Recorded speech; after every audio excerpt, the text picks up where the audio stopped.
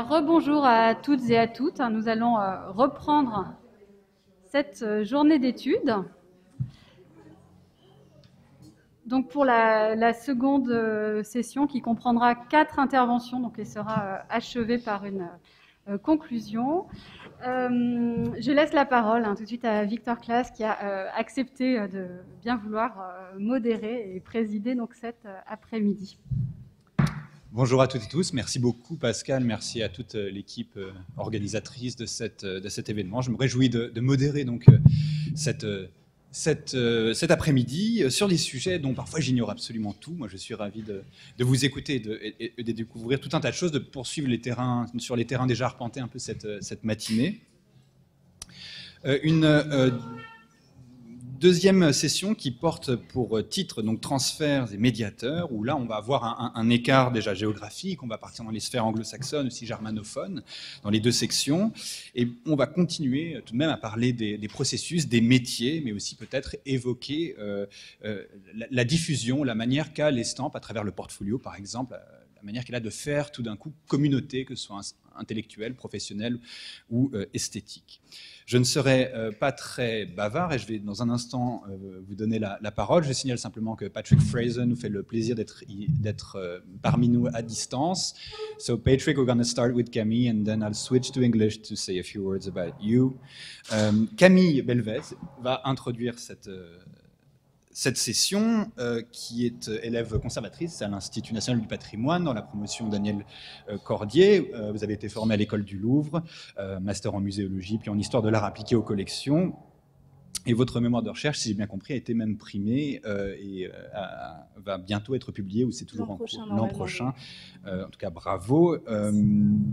Un travail qui portait sur les femmes aquafortistes britanniques dans un 19e siècle, disons, étendu. Euh, ses contributions de, de colloques, notamment à l'événement Faire œuvre au Centre euh, Pompidou et au Musée d'Orsay sur la formation et professionnalisation des femmes artistes, euh, dénotent tous son attention à ce sujet, euh, aussi essentiel que passionnant. Il va donc être question dans sa communication du monde anglo-saxon et de la fortune de certains et certaines artistes. Elle porte pour titre de Frederick Golding à David Strang, l'héritage britannique euh, d'Auguste Delattre. Et donc c'est à vous pour les, une vingtaine de minutes. Merci infiniment. Merci beaucoup, Victor. Vous m'entendez bien? Merci beaucoup aux organisatrices et organisateurs de cette journée d'études. Merci aussi au comité scientifique d'avoir accepté ma proposition. Et merci pour les interventions de ce matin aussi qui étaient passionnantes. Je pense qu'on est tous très enthousiastes euh, d'ass- d'assister et de participer à cette journée d'études autour de l'estampe. Je suis très heureuse d'avoir l'opportunité de vous parler aujourd'hui de plusieurs imprimeurs actifs en Angleterre durant le courant de renouveau de l'eau forte. Ce mouvement de revendication du médium comme art original prend naissance en France au milieu du XIXe siècle et s'officialise avec la fondation en 1862 de la Société des aquafortistes par l'éditeur Alfred Cadar et l'imprimeur Auguste Delattre, dont on a déjà un petit peu parlé, mais je vais faire un peu de redite, je pense.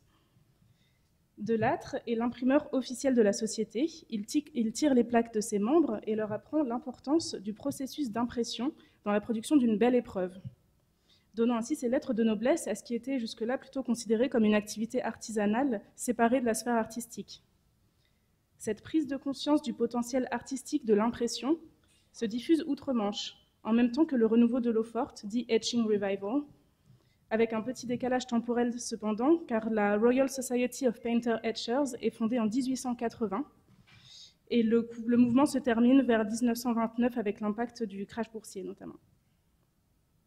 Donc, au moment où les artistes sont encouragés à imprimer leurs planches eux-mêmes, pour exploiter la richesse des effets d'ancrage notamment, on observe l'essor d'imprimeurs dont la réputation est inédite dans le métier. En Angleterre, Frederick Golding puis David Strang s'imposent comme les héritiers britanniques de Delattre, selon une filiation transnationale dont je vais tenter aujourd'hui de vous exposer les modalités, l'ampleur et les ambiguïtés. Quelques mots tout d'abord sur Auguste Delattre, comme la tradition l'impose souvent dans les métiers artisanaux, il est fils d'imprimeur et travaille dès 1843 sur la presse de Louis Marvy et de Charles Jacques. Charles Jacques qui est un précurseur du renouveau de l'eau forte en France. Delattre apprend le dessin, étudie les maîtres anciens et découvre l'art d'obtenir des effets variés à partir d'une même plaque à l'aide de différentes techniques d'ancrage et d'essuyage. Fort de ses expérimentations, il achète deux presses à Jacques et s'installe à son compte, rue Saint-Jacques. Sans rime. Très vite, sa réputation est telle que les aquafortistes ne jurent que par lui, à la fois pour sublimer leurs planches, mais aussi pour leur enseigner, comme on l'a mentionné ce matin, le savoir-faire les savoir-faire nécessaires pour tirer eux-mêmes leurs plaques, à la manière de Rembrandt, qui est la figure tutélaire de ce courant de renouveau. Cette volonté de diffuser ses recherches et ses savoir-faire, non seulement en France mais aussi à l'étranger, lui vaut d'être appelé par Martin Hardy, futur conservateur d'estampes au Victoria and Albert Museum, le grand prêtre de l'impression. Il contribue en effet directement à la diffusion de l'eau forte à la française en se rendant à Londres en 1864, où il assiste Richard James Lane dans la création de la première classe d'eau forte de l'école de South Kensington, qui est rattachée au Victoria and Albert Museum et qui sera connue ensuite sous le nom de Royal College of Art. Delattre supervise l'achat de matériel et d'une presse pour ce cours, et il y fait une démonstration d'impression tous les jours pendant un mois, avant de retourner à Paris. Il reviendra ensuite à Londres pour plusieurs années à partir de 1871, après qu'un obus prussien ait détruit ses presses à Paris. Et il reviendra ensuite à Paris s'installer définitivement à Montmartre, comme on l'a mentionné euh, ce matin.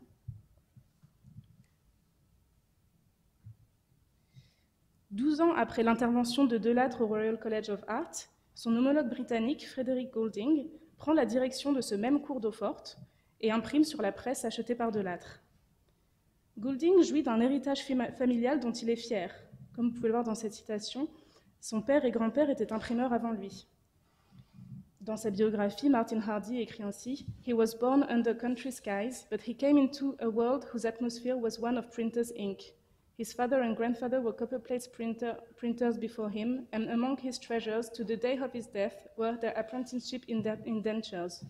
Donc on voit vraiment le respect pour cette tradition artisanale familiale. Ils conservent leur contrat d'apprenti très précieusement et les affichent d'ailleurs dans son atelier d'impression. En 1864, Frédéric Goulding termine son apprentissage de 7 ans auprès de son père chez les imprimeurs Day Son, où il apprend surtout à, tirer des gravures d'interprétation, manière noire, burin notamment, mais aussi eau forte, ainsi que des lithographies.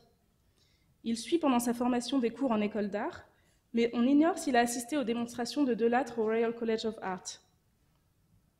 Il pouvait cependant difficilement en ignorer l'existence, d'autant que Goulding est particulièrement francophile. Il se rend en France en 1864, peut-être au moment où Delattre est à Londres d'ailleurs, pour perfectionner son français, travaillant alors chez l'imprimeur Goupil, qu'on a mentionné aussi rapidement ce matin, et rendant visite à Le Mercier, deux maisons d'impression mixtes faisant à la fois de la taille douce et de la lithographie, et beaucoup d'interprétations, beaucoup d'estampes d'interprétation. C'est chez Le Mercier, dont Natalia nous a montré d'ailleurs une vue euh, tout à l'heure de, l'atelier, que Goulding a vu pour la première fois une plaque imprimée avec un voile d'encre laissé à la surface, selon un procédé popularisé par Delattre. En fait, Goulding semble avoir subi l'influence de Delattre, mais de manière plutôt indirecte, via les artistes qui ont travaillé avec Delattre et ensuite avec Goulding, et qui, ont, qui ont ainsi appris ces procédés d'impression. En 1858, pendant son apprentissage, il reçoit la visite de Whistler, qui le bouleverse. Goulding lui sert alors d'assistant. Il est étonné par le fait que Whistler tire, lui-même ses eaux fortes et par toute, euh, toute l'attention qu'il euh, apporte à l'essuyage. Ils disent By the fussiness of all his play with palm and muslin. Ça, c'est son biographe qui le dit, mais qui était proche de, qui était proche de Goulding. Le terme de, de devil est d'ailleurs utilisé, je trouve ça assez intéressant, comme pour euh, désigner cet assistant auprès de, auprès de l'artiste. The devil was amused by the poses and attitudes of the eccentric visitor. Donc il est vraiment étonné par cette attitude euh, alors inconnue de l'artiste qui veut vraiment mettre de lui-même dans le, dans le cuivre. Et il comprend peut-être pour la première fois que l'esprit de l'artiste peut animer le cuivre au moment de l'impression. En 1861, Goulding imprime pour la première fois une planche de Whistler, c'est celle-ci qui s'appelle The Punt. En haut, je vous montre une, épreuve tirée par Whistler lui-même et en bas, une épreuve tirée par Goulding. Donc on voit quand même qu'il y a une certaine différence, que Goulding reste encore un petit peu plus proche du, tirage euh, à la carte de visite ou alors euh, du tirage euh, du tirage du jeu d'échecs aussi, des fois on l'appelait, qui est très noir et blanc, c'est-à-dire en essuyant vraiment toute la plaque. Whistler a contribué au renouveau de l'eau forte en travaillant aux côtés de Delattre à Paris. L'imprimeur français a notamment réalisé des tirages de sa célèbre série Thème 7 qui suscite l'admiration de Goulding. Dans une leçon donnée à la Art Workers Guild en 1904, il cite cette épreuve comme la plus belle de cette œuvre qu'il connaisse, louant notamment la richesse des barbes de pointe sèche. Donc on sait que Goulding avait connaissance de l'œuvre de Delattre et qu'il essaie même de rivaliser avec lui, car quelques années plus tard, il accède aux matrices de cette série de la Time Set à travers la Fine Art Society et en fait un, tirage lui-même en 1879. Bien sûr, les plaques avaient vieilli, elles avaient été acérées d'ailleurs entre-temps, donc on voit que le rendu est différent. Mais il y a cette volonté de rivaliser avec Delattre qui reste la référence en manière d'impression, d'impression artistique. Cette rivalité, sur laquelle je reviendrai d'ailleurs, est alimentée par Francis Seymour Hayden, qui est le véritable fer de lance de l'Etching Revival anglais, dont Fleur vous a montré d'ailleurs une, une, œuvre tout à l'heure, je crois, avec les, mains. Euh, donc cette rivalité est alimentée par Hayden, qui dit de voir beaucoup à Delattre, avec qui il a travaillé, et dont il a exposé des épreuves au Victoria and Albert Museum en 1860, pour servir ainsi de modèle à l'école anglaise d'impression et d'aquafortiste. Hayden décrit, cependant le time set de Goulding comme encore meilleur que celui de Delattre. La collaboration de Goulding et de Whistler se poursuit pendant plusieurs années. L'imprimeur rend souvent visite à Whistler dans ses ateliers londoniens, et les deux tirent souvent des plaques de concert ou en compétition l'un avec l'autre. En 1877, Goulding s'installe à son compte à Kingston House, où il travaille avec tous les, graveurs réputés de l'époque, notamment Alphonse Legros, qui dirige le cours d'eau forte du Royal College of Art de 1875 à 1882, avec Goulding comme assistant, et avant d'ailleurs de lui passer la main pour qu'il dirige seul ce cours d'eau forte. C'est d'ailleurs au sein de ce cours de Legros et de Goulding au Royal College of Art que William Strang, l'un des aquafortistes britanniques les plus réputés du mouvement, fait ses classes. Il sert à son tour d'assistant à Goulding et transmet ensuite son savoir-faire à l'un de ses fils, David Strang, qui devient au début du XXe siècle l'imprimeur le plus réputé de sa génération. Nous pouvons donc voir comment la filiation symbolique de l'âtre Golding-Strang a pu s'opérer, à la fois par le biais familial traditionnel direct, mais aussi de manière plus indirecte. Voyons maintenant quelle est la nature de cette filiation, qui concerne en premier lieu la transmission d'un savoir-faire et de savoir-faire techniques, avec une attention accrue portée sur l'essuyage de la plaque. Dans son traité de gravure à l'eau forte publié en 1866, qui est un véritable manuel de la Société des aquafortistes, Maxime Lalanne donne la parole à Delattre pour le chapitre qui concerne l'impression. Celui-ci distingue l'impression naturelle, qui consiste à remplir l'étail d'encre et à essuyer complètement la surface de la plaque de manière à ne rien ajouter au travail à l'eau forte, et les autres manières d'imprimer, qui permettent selon lui de compléter l'intention de l'artiste et qui font de l'impression un art à part entière, selon lui. Cette, pratique permet d'intensifier ou d'estomper le rendu grâce à divers procédés permettant de laisser un voile d'encre à la surface ou de faire sortir l'encre d'étail, grâce à une technique appelée retroussage qui était d'ailleurs déjà pratiquée par Rembrandt. Grâce à ses recherches et à ses expérimentations, Delattre popularise ces procédés et en fait une composante essentielle de l'esthétique de l'eau forte nouvelle. À l'aide de mousselines de rugosité variée, employées selon des mouvements différents, l'imprimeur devient quasiment l'égal de l'aquafortiste dans la production de l'estampe, en apportant presque la peinture dans l'eau forte, selon les mots du manuel, du traité. Cette planche, imprimée par Delattre pour le traité de Maxime Lalanne, montre bien comment le retroussage peut accentuer certaines zones, notamment les zones ombrées, par rapport à d'autres zones de la plaque. En Angleterre, Golding adopte à ce tour cette pratique qui est baptisé dans l'édition américaine du traité de Lalanne artificielle, une impression artificielle, avec peut-être un petit côté péjoratif qui n'existait pas dans l'édition originale d'ailleurs. Témoignant des débats sur ce sujet, il critique l'usage abusif du retroussage, tout en reconnaissant la nécessité de l'employer 9 fois sur 10 pour obtenir une belle épreuve, disant, je cite, euh, L'eau forte, et les traductions sont les miennes, donc soyez indulgents, L'eau forte idéale devrait être indépendante du retroussage et être imprimée de manière simple.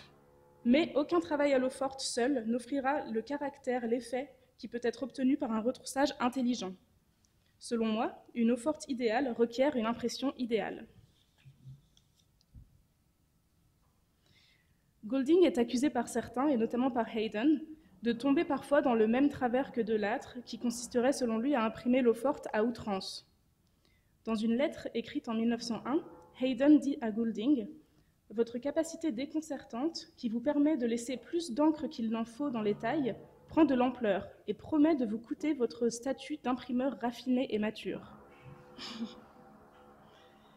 Goulding exprime lui-même dans sa correspondance sa volonté de s'en tenir au désir des artistes, afin de rester un bon artisan avant tout. C'est vraiment quelque chose qui est important pour lui.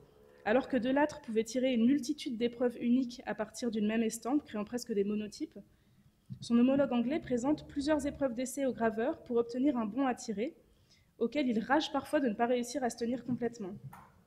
Il réserve ses approches expérimentales, comme ici, à sa propre production personnelle, ou à la lithographie, sur laquelle il applique les innovations de l'eau forte, ce qui lui vaut les reproches du lithographe Ridley Corbet, qui l'accuse d'avoir pris des libertés en multipliant les teintes d'encre et en essuyant certaines zones de la pierre. Quant à David Strang, il publie en 1930 un traité sur l'impression des gravures, dans lequel il intègre systématiquement le retroussage pour toutes ses plaques, mais selon une immense variété de techniques qui sont codifiées de manière quasi obsessionnelle et pour lesquelles il crée des formules complexes, presque mathématiques, comme vous pouvez le voir ici. Donc, loin de l'inspiration expérimentale de Delattre, le procédé d'impression artistique, baptisé par Martin Hardy Art de l'eau forte intense en français, et donc, au moment où le renouveau de l'eau-forte touche à sa fin, à la fois assimilé, rationalisé et quelque peu dénaturé par les imprimeurs britanniques. Ce décalage entre la pratique de Delattre et celle de ses héritiers britanniques est certainement dû à plusieurs facteurs. Tout d'abord, la Grande-Bretagne possède une tradition prégnante de gravure d'interprétation, notamment en manière noire, pour laquelle la technique d'impression laisse moins de liberté à l'imprimeur. Alors que Goulding peine à être satisfait du tirage de certaines de ses eaux fortes, il prend beaucoup de plaisir à tirer les manières noires. Beaucoup de plaisir et de fierté. Il écrit dans une lettre à propos de cette estampe de Frank Short Ceci est la manière de faire transmise par mon père, qui m'a appris à imprimer des manières, des manières noires il y a 50 ans. Cette phrase traduit une certaine tension entre la filiation paternelle liée à une technique typiquement anglaise et la filiation symbolique liée à Delattre et au renouveau de l'eau forte à la française. À en croire Martin Hardy dans sa biographie de Golding publiée en 1910, donc un an après la mort de Golding, son équivalent contemporain en France serait l'imprimeur Adolphe Ardale, spécialiste de la gravure d'interprétation de grande taille et qui a connu un certain succès au moment de la décrue du renouveau de l'eau forte en France. Delattre, quant à lui, est décrit certes comme un pionnier, mais surtout comme le prototype de Goulding, imparfait car trop robuste et pas assez fin selon les termes de Hayden. Et je pense qu'il est intéressant ici de souligner la portée patriotique du renouveau de l'eau forte en Angleterre. C'est notamment ce que Martha Tedeschi fait dans sa thèse de 1994 intitulée How Prints Work, Reproductions, Originals and Their Markets in England, 1840-1900. L'eau forte étant un multiple, elle implique des enjeux commerciaux importants, D'autant que l'engouement pour le médium a créé une véritable bulle spéculative à l'époque, qui éclate avec le crash boursier de 1929. Donc affirmer la supériorité technologique des imprimeurs anglais revient à protéger le marché britannique, d'où la participation de Goulding à des expositions internationales, comme l'exposition universelle de 1862, où il représente l'entreprise Day Son chez laquelle il est apprenti, et donne des démonstrations quotidiennes d'impression, ou encore l'exposition centenaire de la lithographie à Paris en 1895, où il invite des aquafortistes britanniques réputés, comme Constance Pott, qui enseigne l'eau forte au Royal College of Art aux côtés de Frank Short, à la suite donc de Goulding. Et donc il invite ces aquafortistes britanniques réputés à s'essayer à la lithographie, certains pour la première fois, afin de représenter leur pays. Cette volonté quasi nationaliste de I.C. Goulding au rang d'imprimeur idéal plus abouti que de Lattre, explique peut-être le peu d'informations disponibles sur un éventuel contact entre les deux imprimeurs et un certain rejet de la filiation française. Si Martin Hardy faisait de Delattre le grand prêtre de l'impression, il couronne Goulding prince de l'impression. établissant ainsi une hiérarchie tacite entre les deux. L'emploi de ces termes prestigieux, prince, grand prêtre, n'est pas anodin, car outre le savoir-faire technique et la conception artistique du métier, c'est bien l'accession à un nouveau statut dont Goulding puis Strang héritent de leurs prédécesseurs français. Tout comme Delattre était l'imprimeur officiel de la Société des aquafortistes, Goulding est élu en 1890 Master Printer de la Royal Society of Painter Etchers, fondée par Hayden en 1880.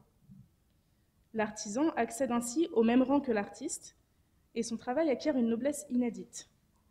Alfred Palmer, artiste qui a travaillé avec Goulding, décrit la barrière de classe et de langage entre les graveurs et les imprimeurs en Grande-Bretagne avant la réforme que constitue Goulding. Il compare l'imprimeur à une machine mal dégrossie et inflexible, au jargon cockney, donc un jargon, un jargon londonien, incompréhensible pour les artistes. Sa description de Goulding tranche avec cette image. Il évoque un homme délicat, courtois et aimable, et mentionne l'effet de sa nouvelle prospérité sur sa tenue et sur sa signature, qui serait devenue de plus en plus élaborée.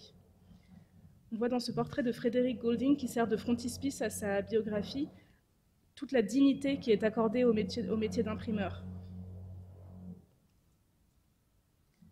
Et pour rejoindre ce que Fleur disait tout à l'heure sur les mains, sur l'importance des mains de l'imprimeur, la, la description des mains de Goulding dans sa biographie est particulièrement éloquente sur la nouvelle dignité accordée à ce, métier.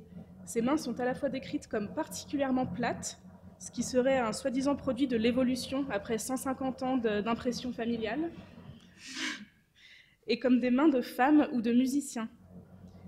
Ce qui rappelle d'ailleurs l'expression de Haydn, qui disait que l'impression des eaux fortes nécessitait une paume de duchesse.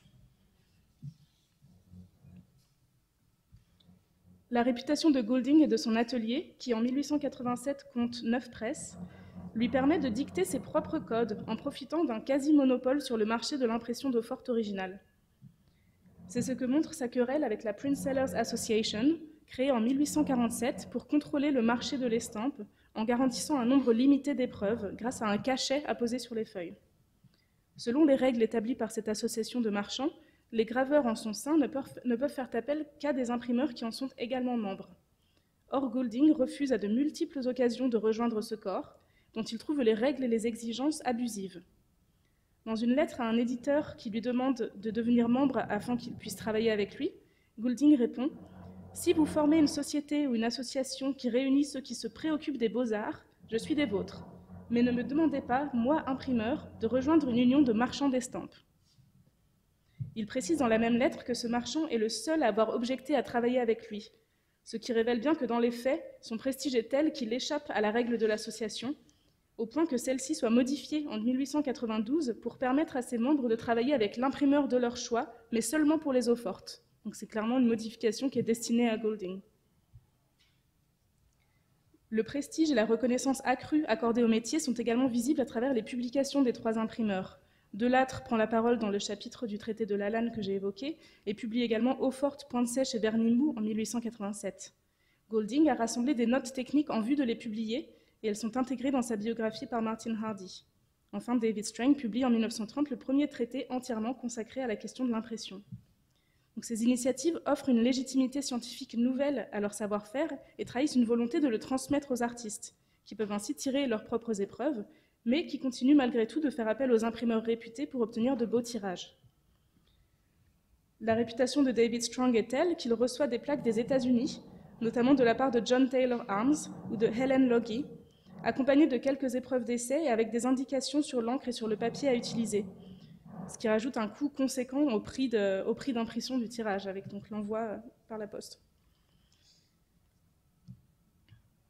Finalement, la relation de confiance et de collaboration entre l'aquafortiste et l'imprimeur est peut-être le vrai héritage de Delattre. D'un ouvrier subordonné à l'artiste, l'imprimeur devient, au gré des métaphores, le docteur qui diagnostique et soigne les plaques, comme dans cette citation de Frédéric Golding, ou la sage-femme qui permet d'accompagner la naissance d'œuvres nouvelles, comme dans cette citation de Martin Hardy.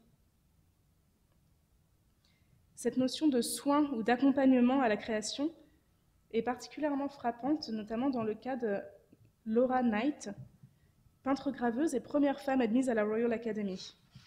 Elle raconte dans son autobiographie, dans une de ses autobiographies, avoir appris l'eau forte et l'aquatinte en autodidacte à l'aide de manuels et avec une approche très expérimentale.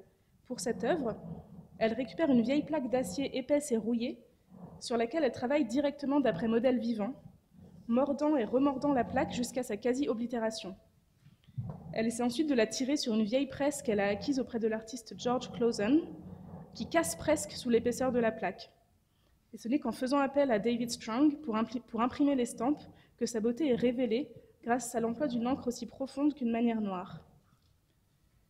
Le résultat de cette collaboration est si remarquable que l'imprimeur et l'artiste décident ensemble de lui donner un titre noble à la hauteur du miracle, Filia Mundi. Mais outre la satisfaction d'un tirage parfaitement maîtrisé, s'attirer le service d'un imprimeur, réputé comme Golding ou Strang, est gage pour les artistes à la fois de valeur financière mais aussi de postérité. C'est pourquoi la famille de Pissarro commande à, David Strang un tirage posthume de ses estampes en édition limitée, au rendu, comme vous le voyez, très éloigné de l'évanescence des épreuves tirées avec Degas. Lorsqu'Elizabeth Fife, reconnue dans les années 1920 comme une des jeunes aquafortistes les plus originales et les plus accomplies d'Angleterre, est sur son lit de mort atteinte de tuberculose, son marchand Harold Wright fait appel à David Strong pour imprimer ses planches, garantissant ainsi leur bon prix sur le marché afin de financer les soins, les soins médicaux de l'artiste et assurant leur acquisition par des institutions muséales afin de préserver sa mémoire.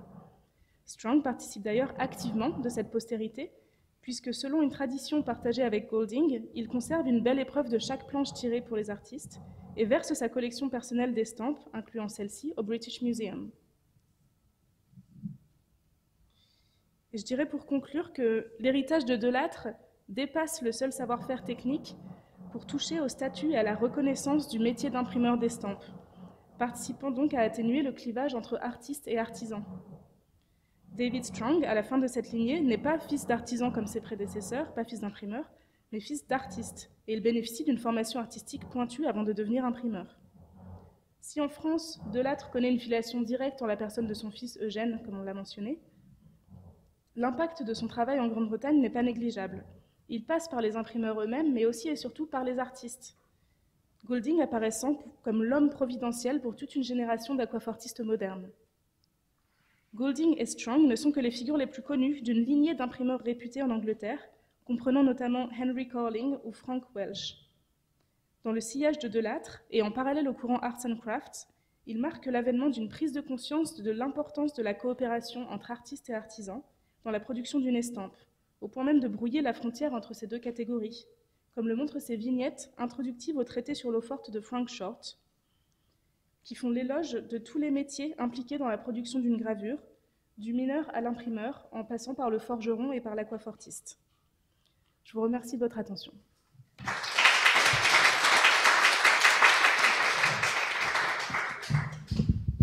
Merci infiniment Camille pour cette euh, très belle euh, intervention qui, est parfaitement dans, le thème et qui, je suis sûr, soulève déjà euh, beaucoup de questions. On a eu, on a eu du transfert, on a eu de la médiation, hein, des transferts par le, voyage, les compétences, les, les, techniques, ces espèces de, de, triangulation aussi entre artistes, artisans, et vous finissez sur une espèce de, de voix, de voix, de voix communes.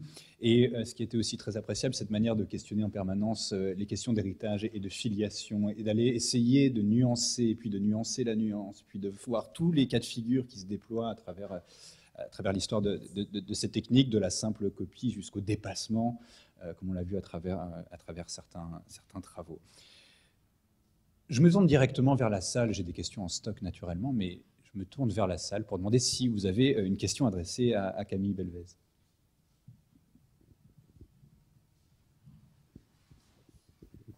Merci beaucoup Camille, c'était vraiment très intéressant. J'aurais une question en fait sur les experimental proof, sur ces, épreuves d'essai d'essai en quelque sorte, pour savoir si c'était quelque chose qui, était propre, voilà, qui était propre à Golding, parce que le proof normalement c'est déjà l'épreuve d'essai. Enfin, là c'est encore plus Est-ce que on ne trouve ça que chez lui le fait d'indiquer comme ça ce côté très expérimental ou est-ce qu'il y a d'autres imprimeurs chez qui on trouve cette volonté technique, euh, enfin d'expérimentation technique pour elle-même sans que ce soit pour, euh, les artistes?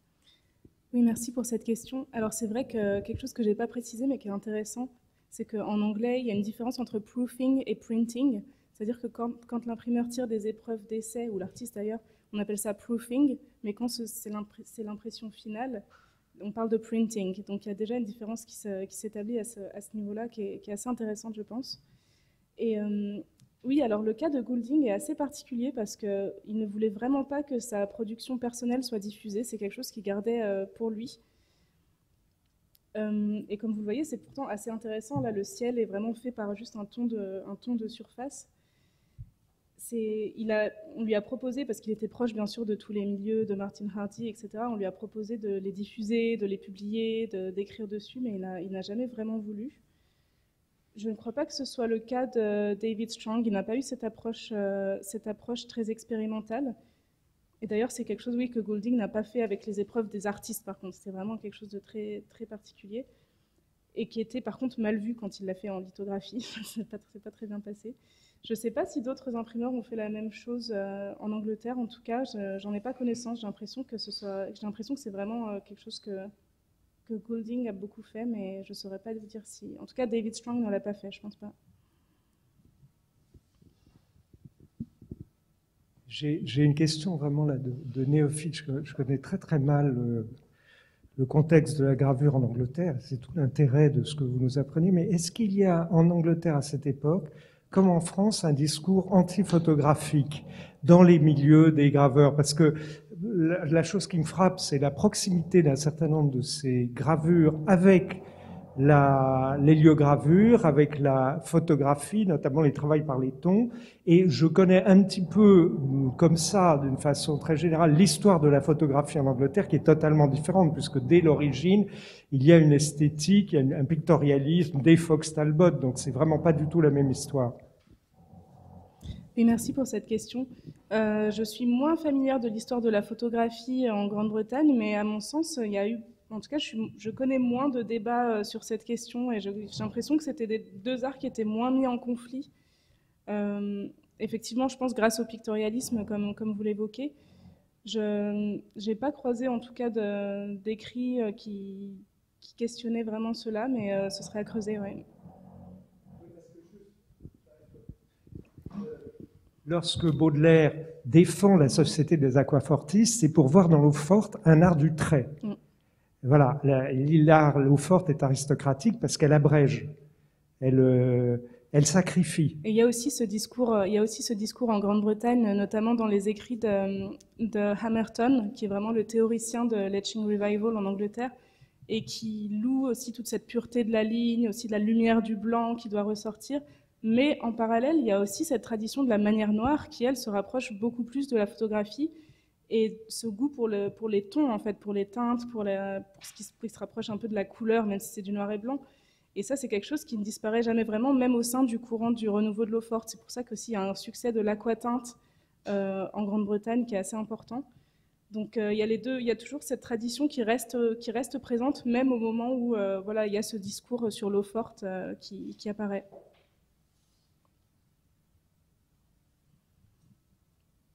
D'autres questions? D'autres questions adressées à, Camille? Puisque euh, vous avez parlé de, traduction, moi je vous avez aussi mentionné un traité qui était traduit du français vers l'anglais, puis ensuite vous avez montré ce traité étonnant de David Strang avec ces espèces de, de, sigles et de raccourcis. Euh, phénomène inverse aussi ou dans la circulation de, de traduction? Non, pas que je sache. Non, je ne crois pas que le traité de David Strang ait été, été traduit euh, vers le français. D'ailleurs, la, traduction du, traité de, Maxime Lalanne, ce n'était pas une traduction anglaise, c'était une traduction américaine par Sylvester Kohler, qui était d'ailleurs euh, conservateur d'estampes au, au, Museum of Fine Arts de Boston et qui a vraiment été un acteur très important vu de la diffusion du renouveau de l'estampe, mais aux États-Unis. Je ne doute pas que ce traité a aussi été utilisé en Grande-Bretagne, mais il n'a pas été traduit par un Anglais en tout cas. Merci. Euh, ce qui nous pousse presque à la question maintenant des patriotismes que vous évoquiez, mais là, il ne faut pas me lancer, euh, me lancer là-dessus. Quelqu'un, une autre, peut-être une, dernière et ultime question pour, euh, pour Camille, puis je vois que l'heure tourne peu à peu. N'hésitez pas. Si vous en avez d'autres qui vous viennent après, il n'y a pas de souci. eh bien, merci, merci, merci. à nouveau.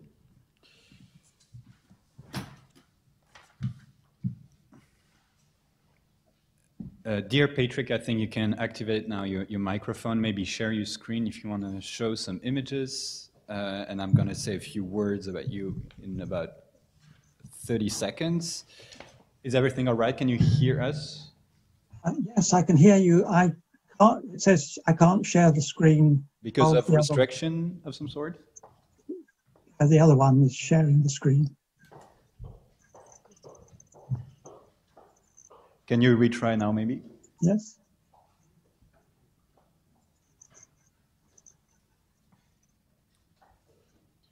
Bien, alors tous les, euh, toutes les intervenantes et les, et les intervenants de ce panel, sauf mention contraire, sont affiliés à l'Université Paris 1 Panthéon-Sorbonne. Eh bien, Patrick Fraser est un chercheur indépendant euh, qui est euh, basé en Grande-Bretagne. He uh, is an independent researcher in the UK, based in the UK, and among his diverse activities, uh, the publication of an article about the color linocuts published by the Forest Press, and it was published in the journal uh, Print Quarterly. His research interests led him to work on Thomas Way, who was who encouraged Whistler to try out lithography, a process that Whistler explored with the help of Thomas Way's son, Thomas Robert Way. For today's contribution, um, specifically deals with Whistler's partnership with the Ways, and will explore in which way, no pun intended, they got implied in his creative process and techniques. Patrick, it's your turn. Thank you. Thank you. Um, so I'll concentrate on James McNeill Whistler and the two Thomas Ways, um, easily confused and confused by a lot of people who should know better. Um, I called the elder one, the father, um, Senior, and uh, younger one, obviously enough, Way Junior. If there's time, I'll move on to the Ways relations with other artists um, and this establishment of the Senefelda Club in England. Um, apologies for appearing in Zoom, but you can blame on the combined restrictions of the British and the French government. Um, all, uh, drew 164 lithographs during his career, and only 26 of those were printed by printers other than Way. Um, in fact, they were, as far as I can make out, all the other ones were printed in Paris when Whistler was living in Paris. He settled in Paris in the 1890s. Anyway, um, the elder Thomas Way, that's him, was drawn by um, on, as a lithograph by Whistler. I was much the same age as Whistler, and it's not at all clear to me, or I think anyone else, how he came to be a lithographer because his, um, uh, family were really very modest. Carpenter's House, which was actually a tavern in Covent Garden, the main um, fruit and vegetable market uh, in London. Um, this one drawn by George Schaff, um, who liked to draw sort of interesting pictures of people going about their business in London. And this one comes at the very front, an enormous bird's eye view of Covent Garden Market by a famous British caricaturist, I suppose one might say, Thomas Rowlandson. Both of them thinking that the building looked interesting enough to justify working on it. Um, Way, um, I think he started off um, when he was 21 as an independent lithographer. He bought up another business when the owner of that died. And although the great age of artistic, um, early artistic, colourful lithographs had rather passed by, um, Thomas Way was left with um, a sort of core business of commercial printing, obviously, in lithography and letterpress. But also, he worked for the two major auction houses in England, um, selling great estate, great country estate.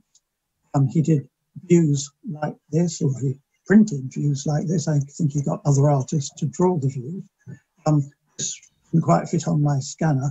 And the plans um, were, sometimes as big times as big as this. They were absolutely enormous. Um, but Way Sr. had several artist friends and very much wanted to re-establish lithography as a legitimate artistic medium. So he invited friends to his house and provided them with crayons and stones and drawing. It is said he supplied them with nice wine and um, so on. Um, and they produced a portfolio, but only just amongst themselves, I think. Um, only a couple of copies still survive. Um, none of the artists involved um, went on to do photographs, so that was a bit of a failure. And apparently, Hadar in Paris had done much the same sort of thing that in and had similar, similar lack of success. Probably Whistler's first actual face-to-face contact with Way Senior was probably in 1876, and Whistler contributed four paintings to an um, exhibition run in London by the Champ Gallery, and Way, the Way printing business had printed a catalogue for that exhibition. It's possible that Senior had already started buying Whistler's etchings and his pastel drawings. Um, he seems to have had enough money to spend quite freely on art at that time anyway. So he managed to interest Whistler in lithography sufficiently to him to at least try it out. And he really himself out help Whistler. He, there was one famous occasion when he arranged for stones to be in a boat with Whistler and had Whistler rowed down the Thames looking for seas to draw straight onto the stone.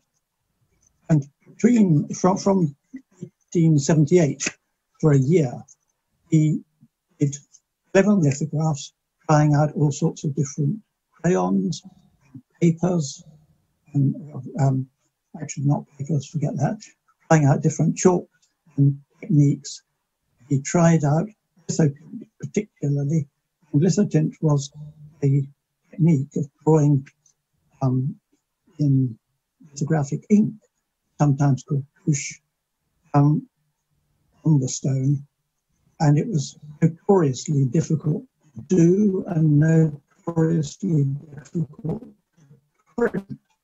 But um, Thomas Way Sr. had reinvented, after many years of experimenting, um, lithotint because it was absolutely designed to um, provide the sort of um, peaceful effect like this. This one, I think, is called um,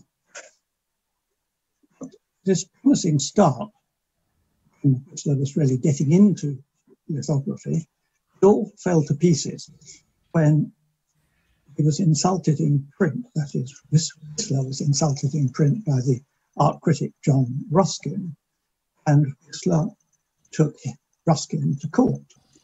In the case, awarded one farthing, in other words, the very lowest possible coin in damages, and went bankrupt because his legal fees were enormous.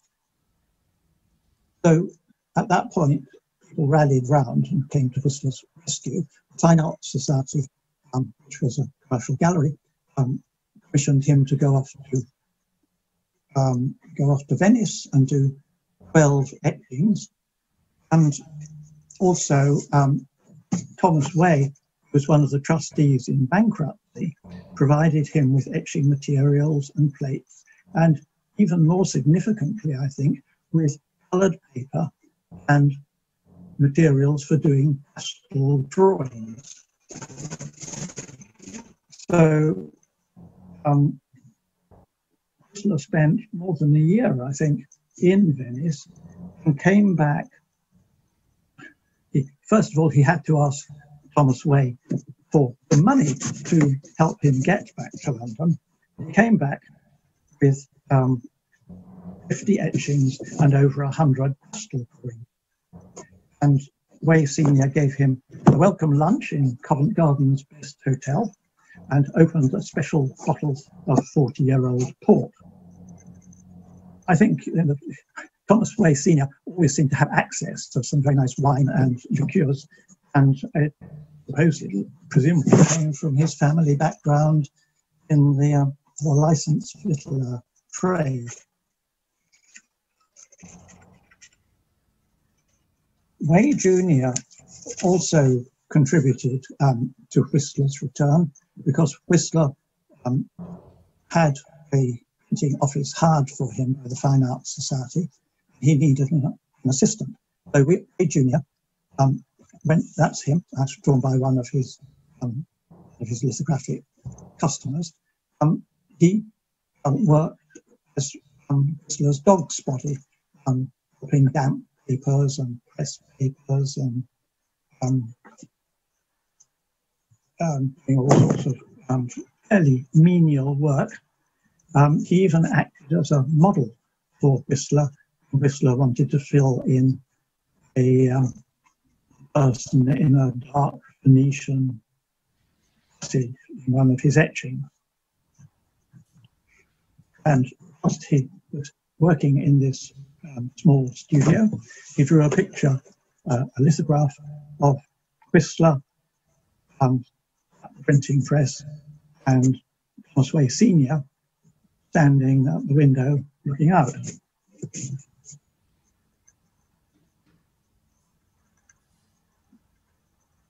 The Fine Arts Society put on two successful, very successful exhibitions of the Venice etchings. The real sensation was their exhibition of 53 pastels that Whistler brought back from Venice. And Way Jr. made sketches of the arrangement. These pastels covered three walls in the gallery, and these are his thumbnail records of two of those walls. Memoir sketch. Um, and certainly, um, Way Senior bought some of the stores.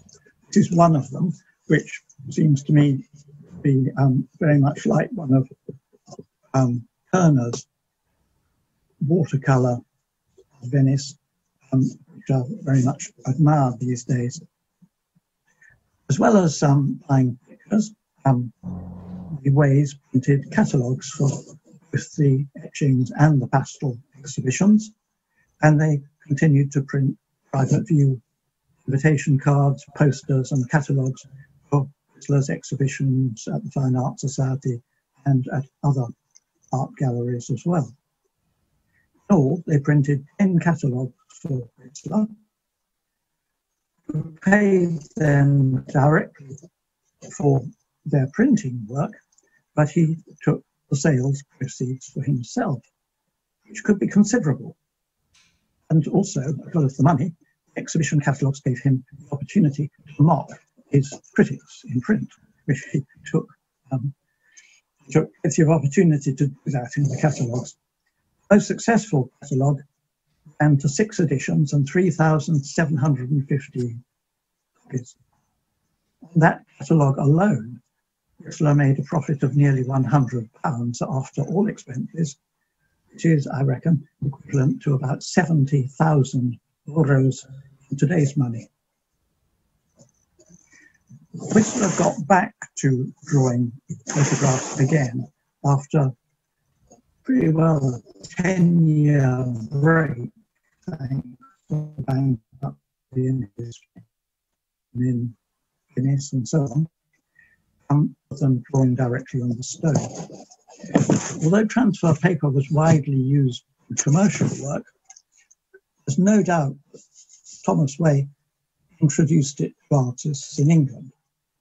Even one of his rival printers wrote, I think in Encyclopedia Britannica, that they must be given, um, the way father and son must be given credit for use of transfer paper by artists, thanks to their valuable pioneer work, as he wrote. In fact, the actual printing of um, Whistler's lithographs by this time was done by a man called Henry Bray.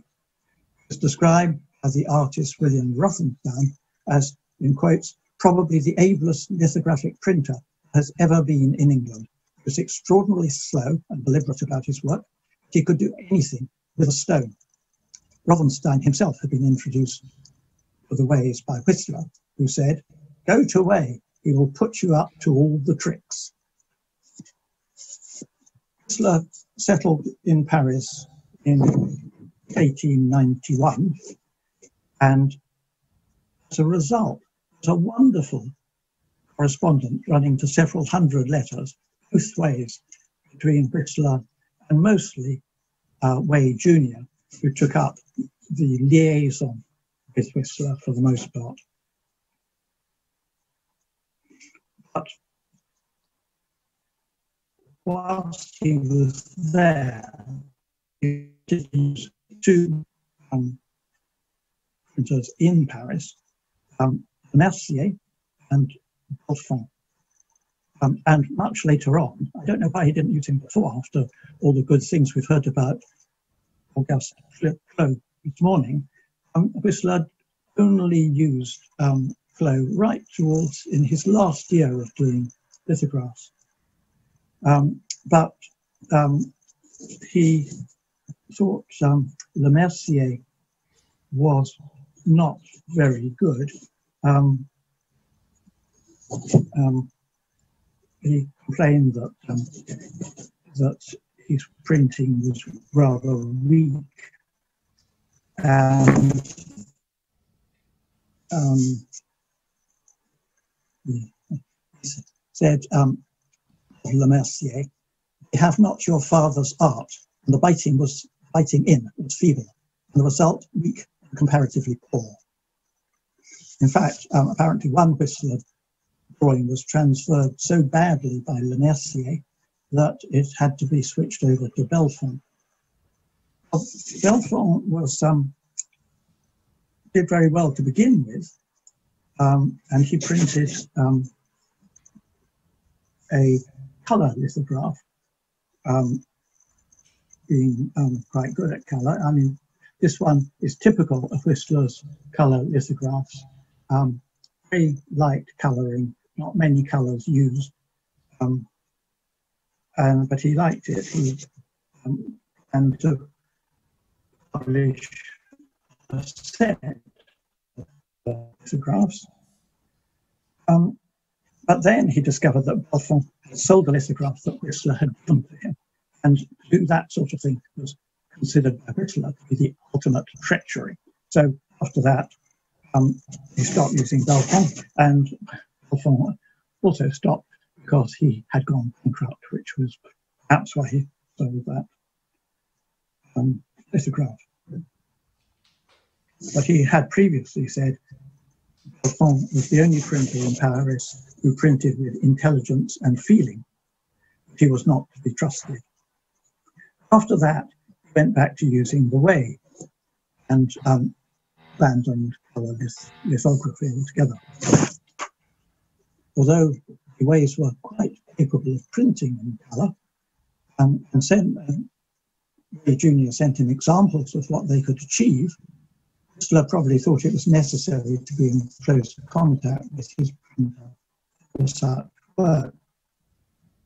He was influenced by an early experiment with the ways, um, which had been a failure because Whistler had drawn two of the colours on the wrong side of the transfer paper.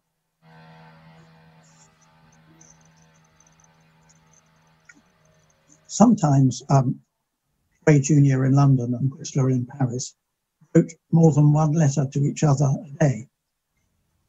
They provide a wonderful picture of their close relationship, documenting everything that the Ways were doing before Whistler. They reveal experiments with different transfer papers and different printing papers.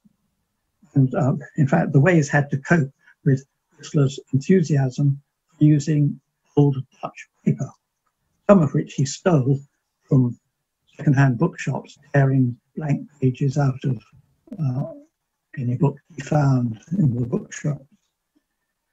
He Whistler didn't care whether it was damp stained or full of wormholes, but it caused all sorts of problems for his printers, of course. Um, Junior encouraged Whistler to try using flat leather, flat roll of leather, known as a stump, spread lithographic chalk and give an extra area of tone.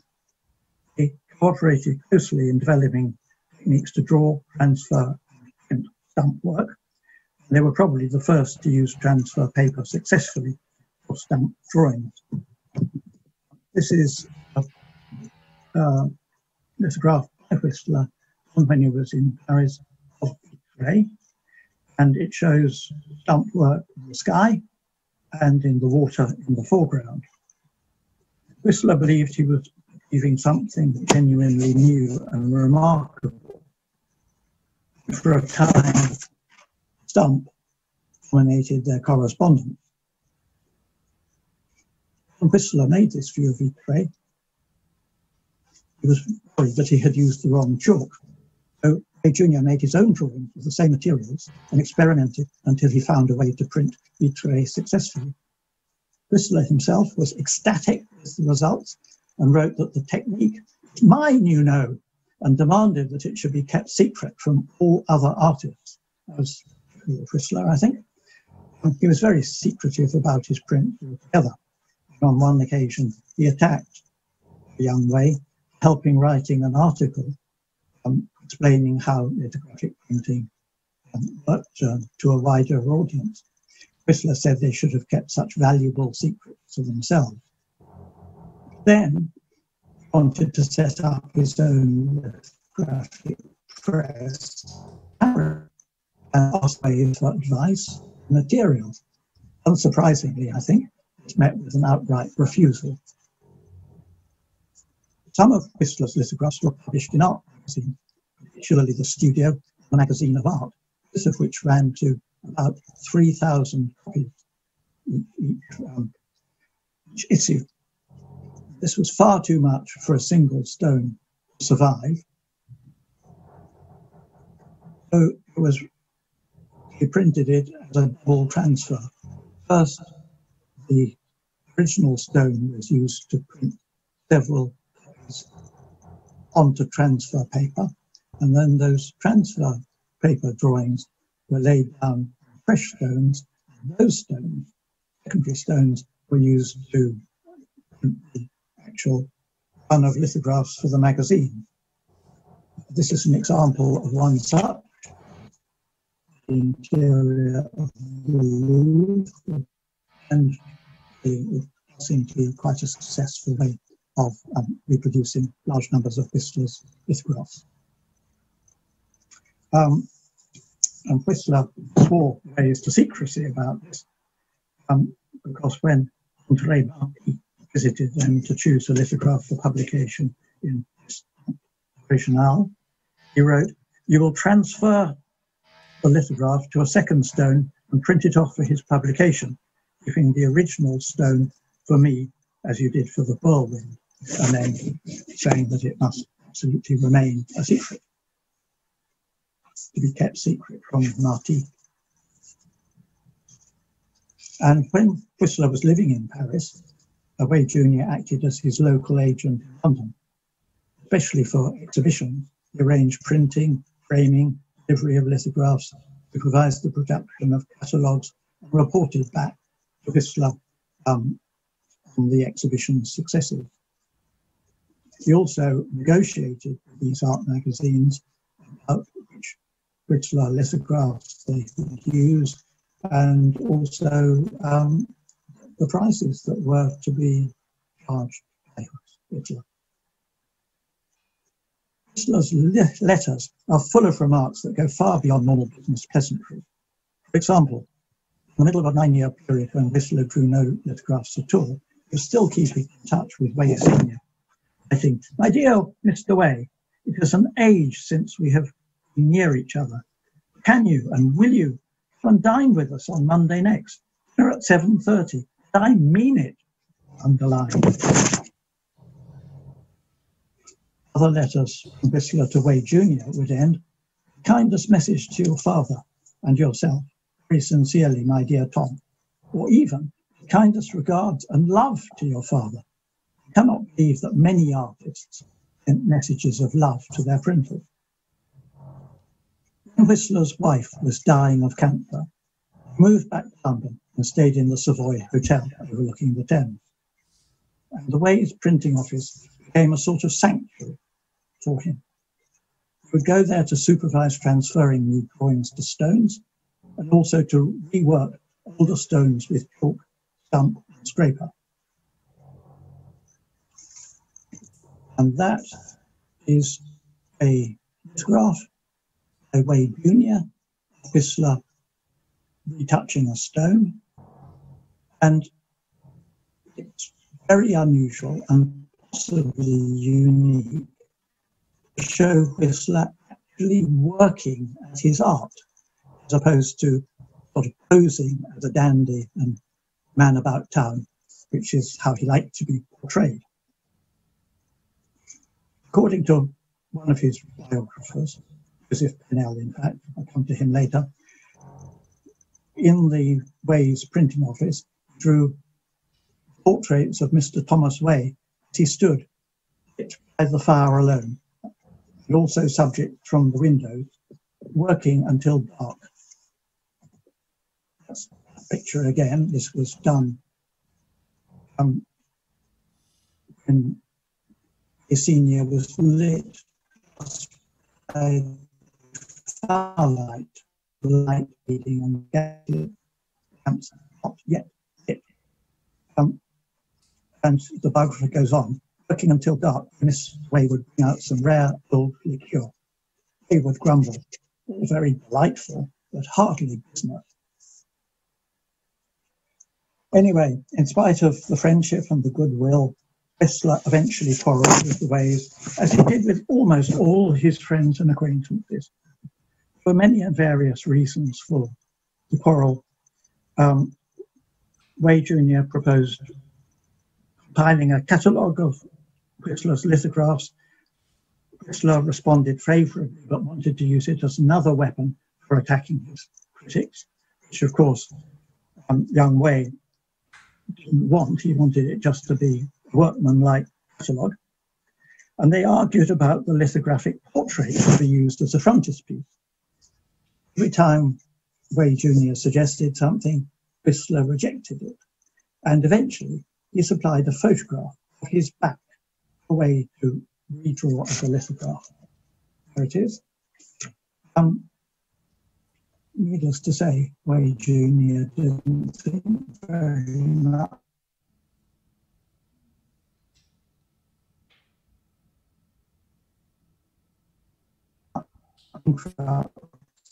sale. So work themselves according to normal commercial practice. Although relations were increasingly strained, Whistler continued to use the ways to print his lithographs that year, um, 1896. Then in May that year, Whistler's wife died, and that was just one day after Way Jr.'s young son, only two weeks old, also died. So the two coming together meant that neither of them wanted to compromise um, and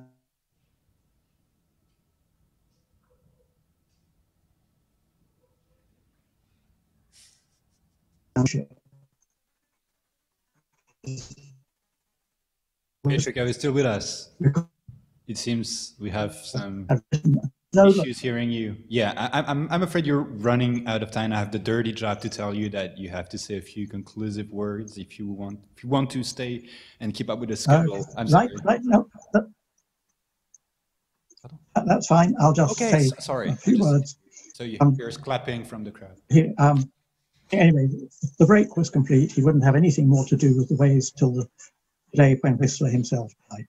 And but Way kept up the um, the interest for other artists in lithography, um, tirelessly doing demonstrations and writing articles and so on. And eventually, this led to the establishment of the Senefelder Club, and that has took um, lithography, artistic lithography, forward in England for another 50 years or more.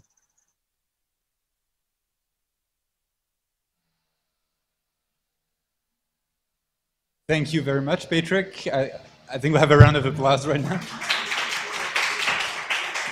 It got it got a little bit uh, tricky at the end. We have construction stuff going on right next to the room, but um, we were amazed at how deep into detail you can actually go into reconstructing that that that relationship, that that that work relationship between the Ways and and, and Whistler, and um, trying to uh, connect uh, the two first contributions. I, I, wanted to ask you about that competition between uh, Frederick Golding and the Ways uh, that I think you you mentioned. Yes, I mean, Golding was essentially a printer of etching, um, but he wanted to get into um, printing lithographs. Um, and he printed a few. Um, like having to reassure the ways that they were much better than Golding, and there was no question about him using anyone but the ways for his lithographs. In fact, he wrote for the edit, wrote to the editors of two art magazines saying, on no account were they allowed to print anything that had not been printed by Ways. So, so it was very clear about that.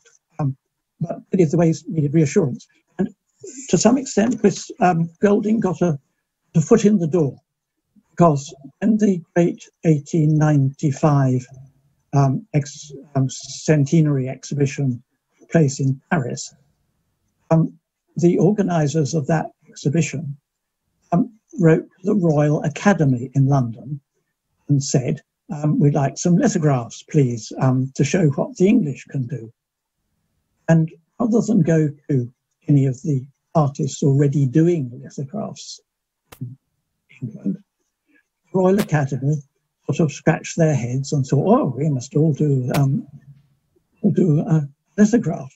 So um, they invited Golding to do the printing. They knew him from printing their etchings, I suppose, or that he was sufficiently important in artistic circles to be known about.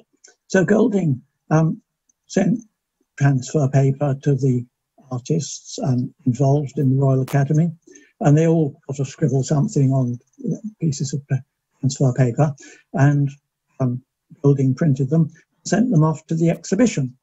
Um, it didn't really persist. I don't think he developed any sort of um, substantial um, business of printing lithographs.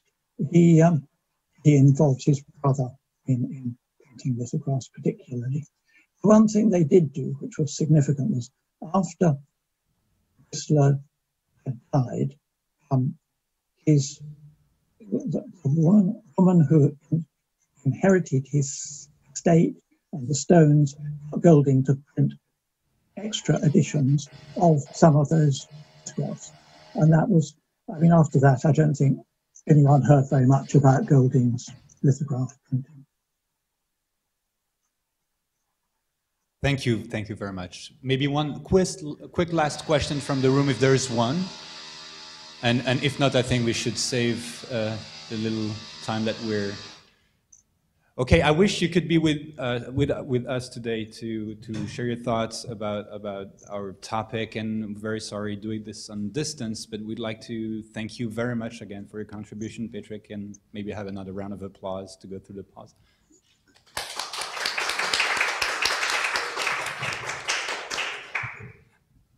Euh, nous avons un léger retard. Euh, je pense qu'on peut se donner 5 minutes en, en, plus et reprendre à 50. S'il n'y a pas de problème de, de, timing. Très bien. Donc, on peut prendre une pause de 5 minutes. Merci aussi euh, beaucoup pour votre patience, puisque ces problèmes qui sont techniques sont assez compliqués quand on est en présentiel, finalement, beaucoup plus que quand on est à distance. Et nous sommes en compagnie de, Marie Gispert pour cette deuxième partie de, session. On va être euh, en territoire euh, germanophone. Moi, je m'y sens bien. Et euh, j'ai rencontré Marie Gispert à, travers sa, puissante thèse de, doctorat consacrée à l'époque à la réception de la peinture allemande en France dans les années Weimar et sous le, Troisième Reich, un travail qui mettait au jour, à jour avec brio un ensemble de, connaissances sur cette question, tout en ouvrant de, de nouvelles pistes très engageantes. Ces travaux euh, portent sur le monde germanique, l'histoire de la critique d'art, des réseaux, des revues, des expositions, des discours en, général aussi.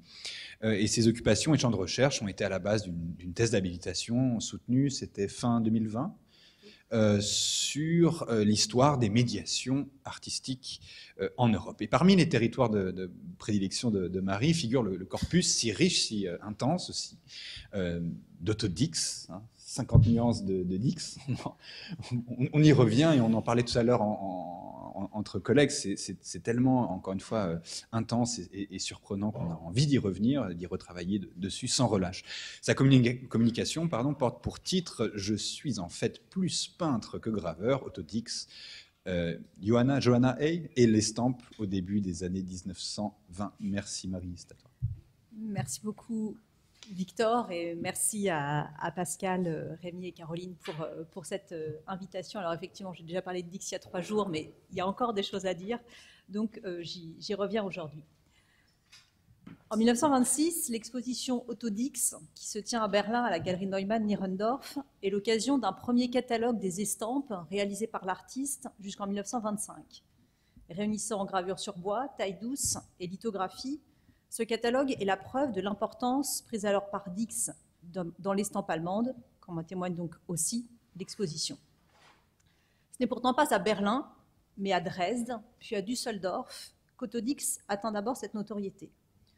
Au sortir de la guerre, en effet, en 1919, ces deux villes sont les lieux de la création de groupes d'avant-garde auxquels appartiendra Dix.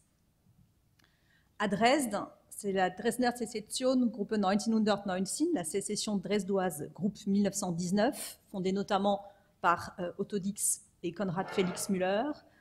À Düsseldorf, c'est Das Junge Rheinland, la jeune Rhénanie, qui va prendre notamment son essor fin 1919 avec l'arrivée de ceux qui sont notamment graveurs, Otto Pankow et Gert Wollheim. Ces deux groupes sont bien connus de l'historiographie allemande, surtout depuis le centenaire de leur naissance, qui a été célébrée en 2019 par une exposition d'Assumer Rheinland à Düsseldorf et de la Dresdner Secession à Dresde, euh, bien entendu. Dix réside à Dresde de 1919 à 1922 et à Düsseldorf de 1922 à 1925 avant de déménager à Berlin et il a appartenu à ces deux groupes. Or, l'estampe, et particulièrement la gravure sur bois, est très importante pour ces artistes qui relèvent alors de ce qu'on a pu appeler la seconde génération expressionniste. L'importance que prend alors l'estampe pour Dix est également liée aux marchands qui le représentent au début des années 20, Johanna E. à Düsseldorf et Karl Nierendorf à Düsseldorf, puis à Berlin. Je tenterai donc ici de comprendre dans quelle mesure ce réseau d'artistes, de marchands, d'éditeurs parfois, mais pas encore d'imprimeurs, j'y reviendrai, dans quelle mesure ce réseau donc dessine, qui se dessine entre Dresde et Düsseldorf au début des années 20 a pu jouer dans le développement de la pratique de l'estampe pour Dix dans sa diversité. Je me demanderai donc, partant, s'il est alors possible de parler de collaboration ou de coopération. Donc je me place cette fois du côté de l'artiste et non plus du côté des imprimeurs, comme ça a été le cas euh, jusqu'à présent, puisqu'on ne connaît pas en fait les imprimeurs de ces estampes de Dix qui ont souvent été imprimées par l'artiste lui-même pour ces années-là. Alors je m'excuse par avance, je vais parfois devoir citer des sources secondaires, car pour raison de pandémie, le voyage en Allemagne que j'avais imaginé pour consulter les archives n'a pas pu se faire. Donc tout d'abord, Autodix et Jonae, une collaboration avant tout commerciale, puisque lorsqu'on parle d'estampes, on parle aussi de multiples, et cette collaboration qui peut exister entre un artiste et son galeriste est d'abord une collaboration qui va permettre de vendre ces estampes. Sidix avait déjà euh, fait paraître un portfolio de gravures euh, sur bois en 1919, intitulé Verden, et paru euh, chez Emil Richter à Dresde. C'est vers la taille 12 qui se tourne en 1920 sur les conseils de Konrad Felix Müller, car c'est pour lui une sorte de pis-aller, une façon de se faire connaître parce qu'il ne parvient pas à vendre ses peintures. Félix Müller raconte ainsi dans ses souvenirs, je le cite, je lui ai conseillé de faire de la gravure, c'est plus facile à vendre. On arrive immédiatement à l'expression des idées voulues et la quantité de travail et le coût des matériaux sont considérablement moindres que dans la peinture, surtout si on imprime soi-même la gravure. Nous, on manque d'imprimeurs pour euh, cette première partie. Dix connaît en effet des difficultés à faire accepter euh, son art, et notamment euh, les motifs des prostituées qui, à ce moment-là, innervent une grande partie de sa production peinte et gravée. Toujours sur les conseils de Konrad Felix Müller, qui est déjà un artiste relativement implanté, il va d'abord contacter euh, début 1920 le, cabinet d'art graphique von Berg, qui est tenu par le docteur Hans Kohr. Hans Kohr va par la suite collectionner les œuvres de Dix, mais dans un premier temps n'apporte pas de réponse à cet envoi de Dix. Et le contenu de la lettre que Dix écrit alors à Hans Kohr dit assez sa détresse financière. Je le cite J'ai eu votre adresse par M. Félix Müller. Je me permets de vous envoyer quatre de mes gravures. Les points de sèche coûtent 100 marques pièces, les eaux fortes 75 marques pièces. Comme je suis actuellement en difficulté financière, je vous prie de m'acheter les quatre feuilles. Je vous laisserai alors les points de sèche pour 75 et les eaux fortes pour 50 marques pièces. Par la suite, alors que Dix a déjà pris contact avec la galeriste Johanna Hay, dont je parlerai dans un instant, il échoue euh, également dans une collaboration avec euh, le galeriste Hans Goltz à Munich. Alors que celui-ci lui avait proposé une exposition de gravure avec James Ensor pour février 1922, et que Dix lui a proposé de lui envoyer aussi des peintures, la réaction de Goltz est très vive après l'envoi des œuvres de Dix. Je cite à nouveau Je suis absolument déçu par la plupart des choses. Ce sont vos gravures que vous m'aviez envoyées à l'époque qui m'ont incité à vous contacter au sujet d'une exposition. Je ne pensais pas à l'époque que je devrais, à l'exception de quelques bons portraits, montrer principalement des scènes de bordel et des femmes de bordel à l'exposition. Vous dites bien sûr que le sujet est une question secondaire pour l'artiste. Bien, mais pas pour le marchand d'art et pas pour le public. Vous poursuivez en disant que ça ne vous regarde pas dans votre travail, d'accord, mais il faudrait alors faire des expositions d'ateliers. Je ne peux pas ouvrir mes salles nouvellement aménagées avec une exposition qui serait qualifiée à juste titre dans la presse d'exposition de bordel. C'est donc dans ce contexte, et pour trouver une, issue financière et, diffuser ces estampes, que Dix prend contact en juillet 1920 avec euh, la galeriste Johanna E. Donc c'est un personnage euh, assez singulier qui est, maintenant euh, très bien connu en Allemagne, mais moins en France, qui est né en, 1864, qui vient d'un milieu modeste et qui a été d'abord mère au foyer, donc mère de 12 enfants, dont 8 meurent en bas âge, et qui va divorcer de son mari violent en 1910 et ouvrir d'abord pour subsister une boulangerie qui se trouve être située à côté de l'Académie des beaux-arts de Düsseldorf. Donc elle va commencer à être fréquentée par les artistes, par les maîtres de l'Académie de Düsseldorf. Du coup, elle va faire un peu café et va accepter euh, de faire crédit puis d'être payée en œuvre d'art.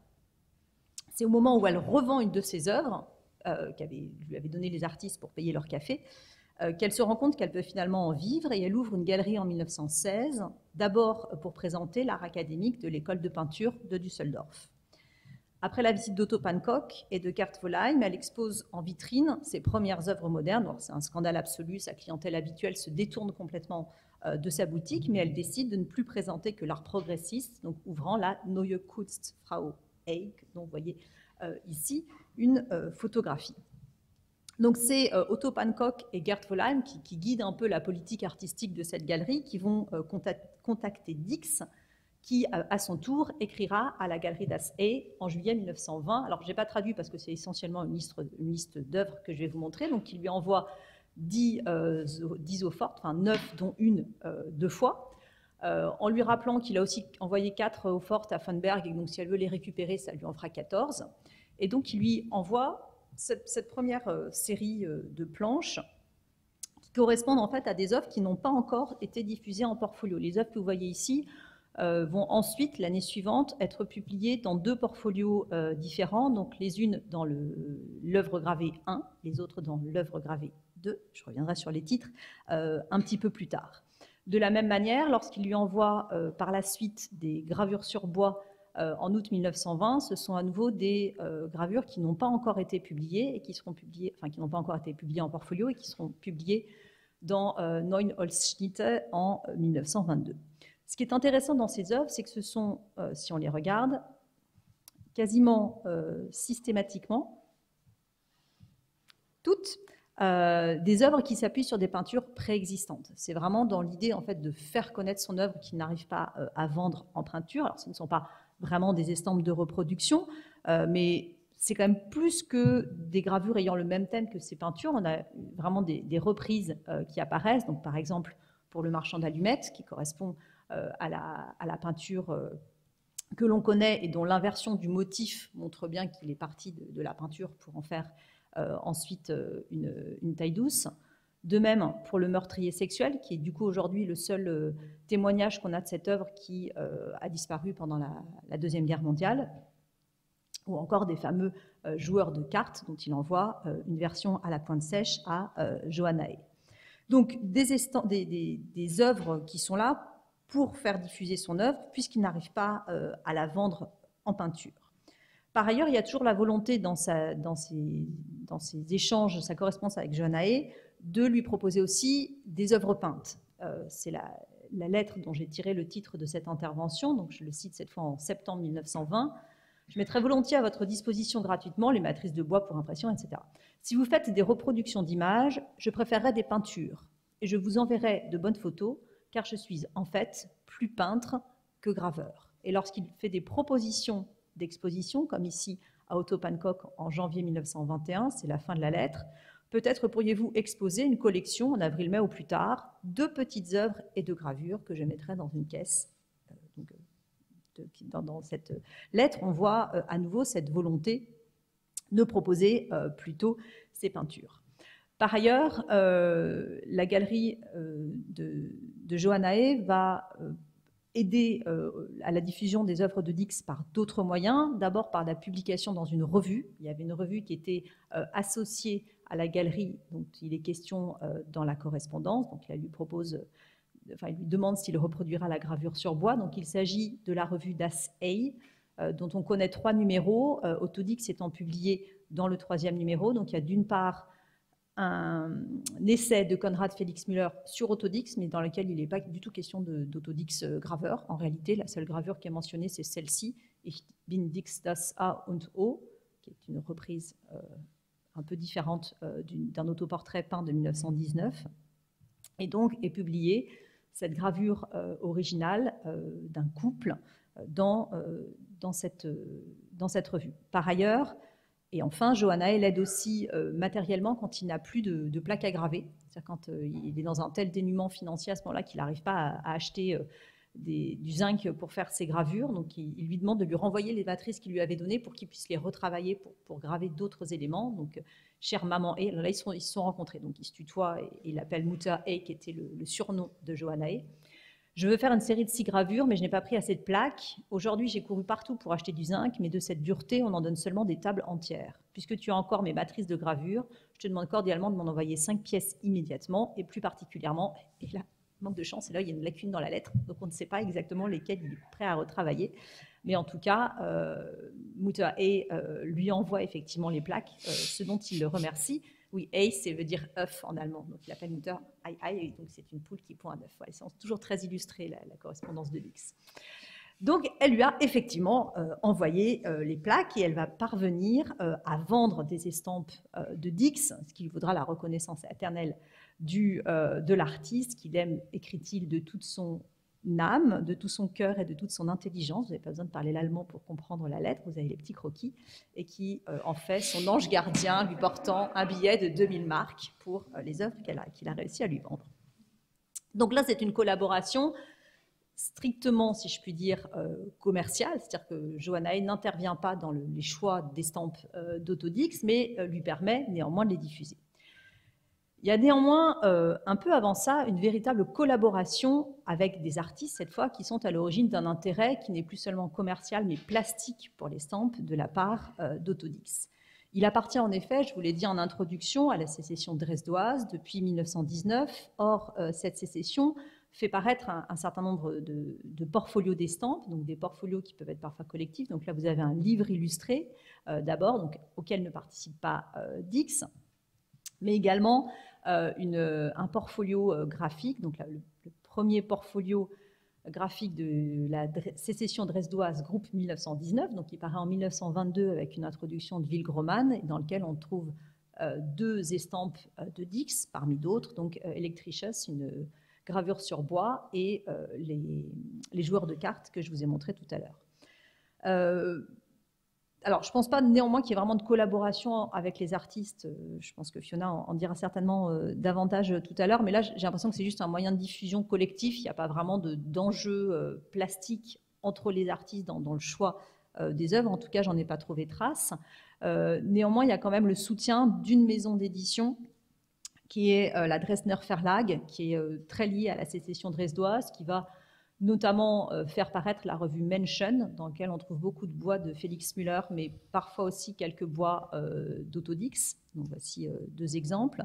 Et puis par ailleurs, la, Dresdner Verlag va lancer une série graphique, donc les Graphische Reihe, qui va être inaugurée par un portfolio de Dix, donc le Radierwerk 1, puis par un autre portfolio de Dix qui va également y publier c'est euh, neuf gravures sur bois euh, un petit peu plus tard. Là, on est en 1922 et c'est déjà le 16e portfolio des euh, Graphischen Reihe de la Dresden Verlag. Et puis surtout, au-delà de cette collaboration au sein de la maison d'édition, il y a une véritable collaboration au sens le plus strict du terme entre Félix Müller et Otto Dix. C'est en effet Félix Müller qui va initier Dix à l'eau forte et à la pointe sèche, et ce de manière tout à fait originale. Donc là, vous avez un, une gravure sur bois de Dix, euh, dédicacée euh, à, Félix Müller, qui représente peut-être euh, tous les deux en pleine discussion avec quelques dissensions politiques entre deux. Donc Félix Müller raconte. Comme à l'époque, j'avais toujours des plaques de zinc dans mon atelier pour les gravures. Ah, je n'ai pas le bout de la J'ai donné, je ne me souviens plus et je ne vois plus, à Autodix, donc une large. Non, pardon, j'ai dessiné.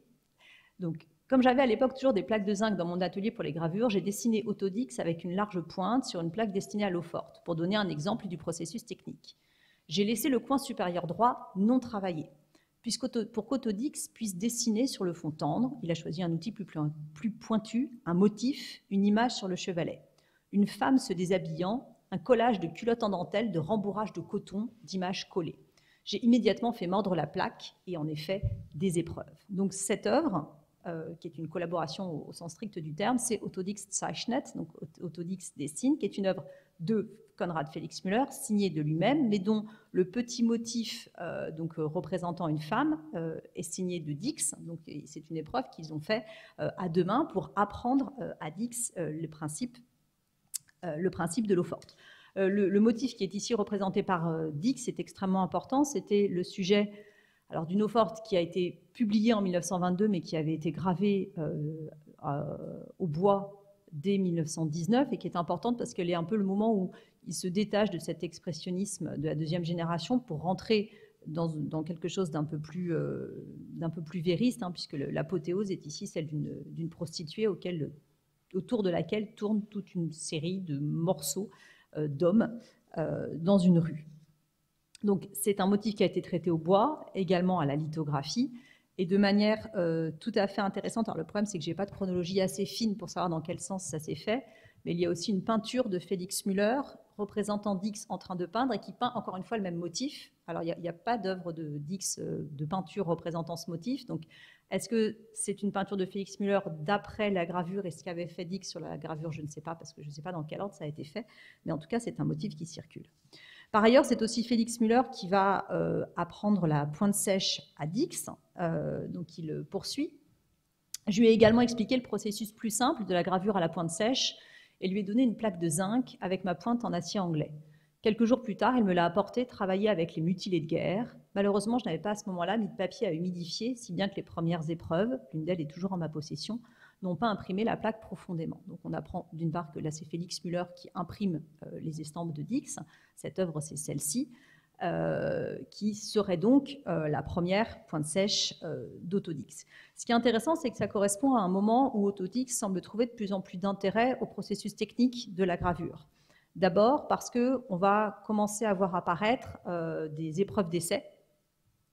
Alors, des épreuves d'essai pas encore expérimentales, mais des épreuves d'essai et euh, Dix euh, écrit euh, un peu plus tard, donc il parle de son, apprentissage à Düsseldorf, mais je, lis la fin de la citation, laver à l'acide, passer l'aquatinte, bref, une technique merveilleuse qui permet de travailler les dégradés à sa guise. La cuisine devient d'un seul coup incroyablement intéressante. Quand on grave, on devient le plus pur alchimiste. Donc il y a vraiment un intérêt non plus seulement commercial et de diffusion à l'estampe, mais un intérêt plastique lié à son travail avec Félix Müller, avec cette coopération avec Félix Müller. Donc, apparition euh, d'état, donc euh, ici par exemple une pointe sèche préparatoire à une eau forte pour le marchand d'allumettes ou une première épreuve d'essai pour la pointe sèche au miroir de 1922 que je vous ai mis face à, la, version finale. D'autre part, on voit qu'en réalité, même quand il travaille à la pointe sèche, euh, il réfléchit à d'autres moyens plastiques. C'est-à-dire que là, on pourrait penser qu'il y a une espèce de, perte plastique entre cette œuvre de la période dadaïste, où ce sont de vraies cartes à jouer, de vrais journaux qui ont été collés sur la peinture, ce qui évidemment n'est pas possible euh, à la pointe sèche. Mais du côté de la pointe sèche, c'est-à-dire là où dans la peinture, le rose de la peau permettait encore de distinguer un visage d'une mâchoire mécanique, le noir de la gravure propose cette fois une forme nouvelle et indifférenciée qui crée des personnages euh, complètement euh, mécaniques et euh, déshumanisés. Enfin, c'est à ce moment-là que commence à apparaître une certaine cohérence thématique dans ces portfolios. Je vous ai dit que les premiers s'appelaient enfin, œuvre graphique 1, œuvre graphique 2, œuvre graphique 3, donc ce qui fait qu'en fait c'était juste des, gravures qui étaient réunies pour diffusion sans, sans forcément de cohérence thématique. le troisième portfolio de taille 12, donc s'appelle toujours Radierwerk Dry, donc il n'a pas de titre, mais cette fois on a quand même une cohérence thématique puisque euh, c'est toute une série de portraits de prostituées accompagnés de manière tout à fait euh, significative, enfin même euh, introduit ces portraits par un autoportrait de Dix qui dit assez la fréquentation qu'il avait de ces femmes à cette époque. Donc il y a vraiment une, coopération avec Félix Müller qui pousse Dix à réfléchir à l'approche plastique et non plus seulement de diffusion euh, de l'estampe, et qui va sans doute profiter également du climat euh, de Düsseldorf. Pardon, je ne vous dis pas tout parce que sinon je finirai jamais. donc, il va profiter aussi du climat de Düsseldorf, puisque l'estampe est également très importante à la fois pour Gert Volheim et pour Otto Pankop. Donc là, c'est les deux gravures sur bois qui paraissent dans le même numéro de Das Ei qu'Autodix que je vous ai montré tout à l'heure. Et on a vraiment des liens entre, ces artistes. Donc là, vous avez un portrait d'Autodix euh, par Volheim. Ici, un, autoportrait avec Gert Volheim par Autodix. Euh, de même, de profil, euh, ici, ce, dessin de 1925. Alors, je n'ai malheureusement pas trouvé de, gravure les représentant tous les deux, mais c'est quand même quelque chose d'important. L'intérêt de, de Volheim pour la gravure étant notamment euh, montré par cette lithographie parue euh, dans le premier livre des activistes de 1919, intitulé Le travail sans le bois, la pierre et la poussière, donc faisant référence à la gravure sur bois et euh, à la lithographie. Donc, une collaboration commerciale, financière avec Johanna Hay, une collaboration d'ordre plus plastique avec Félix Müller, quid des imprimeurs et des galeristes par la suite. Alors là, pour le coup, j'ai pas pu trouver encore de collaboration avec un imprimeur. Les, quelques, les quelques lettres que je vous ai montrées laissent à penser que les, premières œuvres de Dix sont imprimées euh, par lui-même, donc il n'y a pas de, collaboration avec euh, un imprimeur. Donc il y a les, matrices qu'il demande à, à Johanna dont je vous ai parlé tout à l'heure. Cette lettre également à Pancock, dans lequel il dit être lui-même en cours d'impression, ce qui suppose qu'il est en train euh, d'imprimer ses plaques. Et puis, outre, enfin, voilà, il y, a cette idée qu'il imprime lui-même ses plaques, probablement euh, sur les presses de l'Académie euh, de Dresde, euh, où il est encore alors maître-élève. Et ces, collaborations avec les imprimeurs se passent plutôt mal, comme en, témoigne Félix Müller. Donc il raconte qu'il cette fois, il lui apprend la lithographie. Donc, il, il raconte que, alors qu'il allait lui-même imprimer une lithographie, il l'a embarqué avec lui dans les ateliers graphiques de l'Académie. Donc, je cite l'imprimeur a préparé une pierre finement grainée pour Autodix.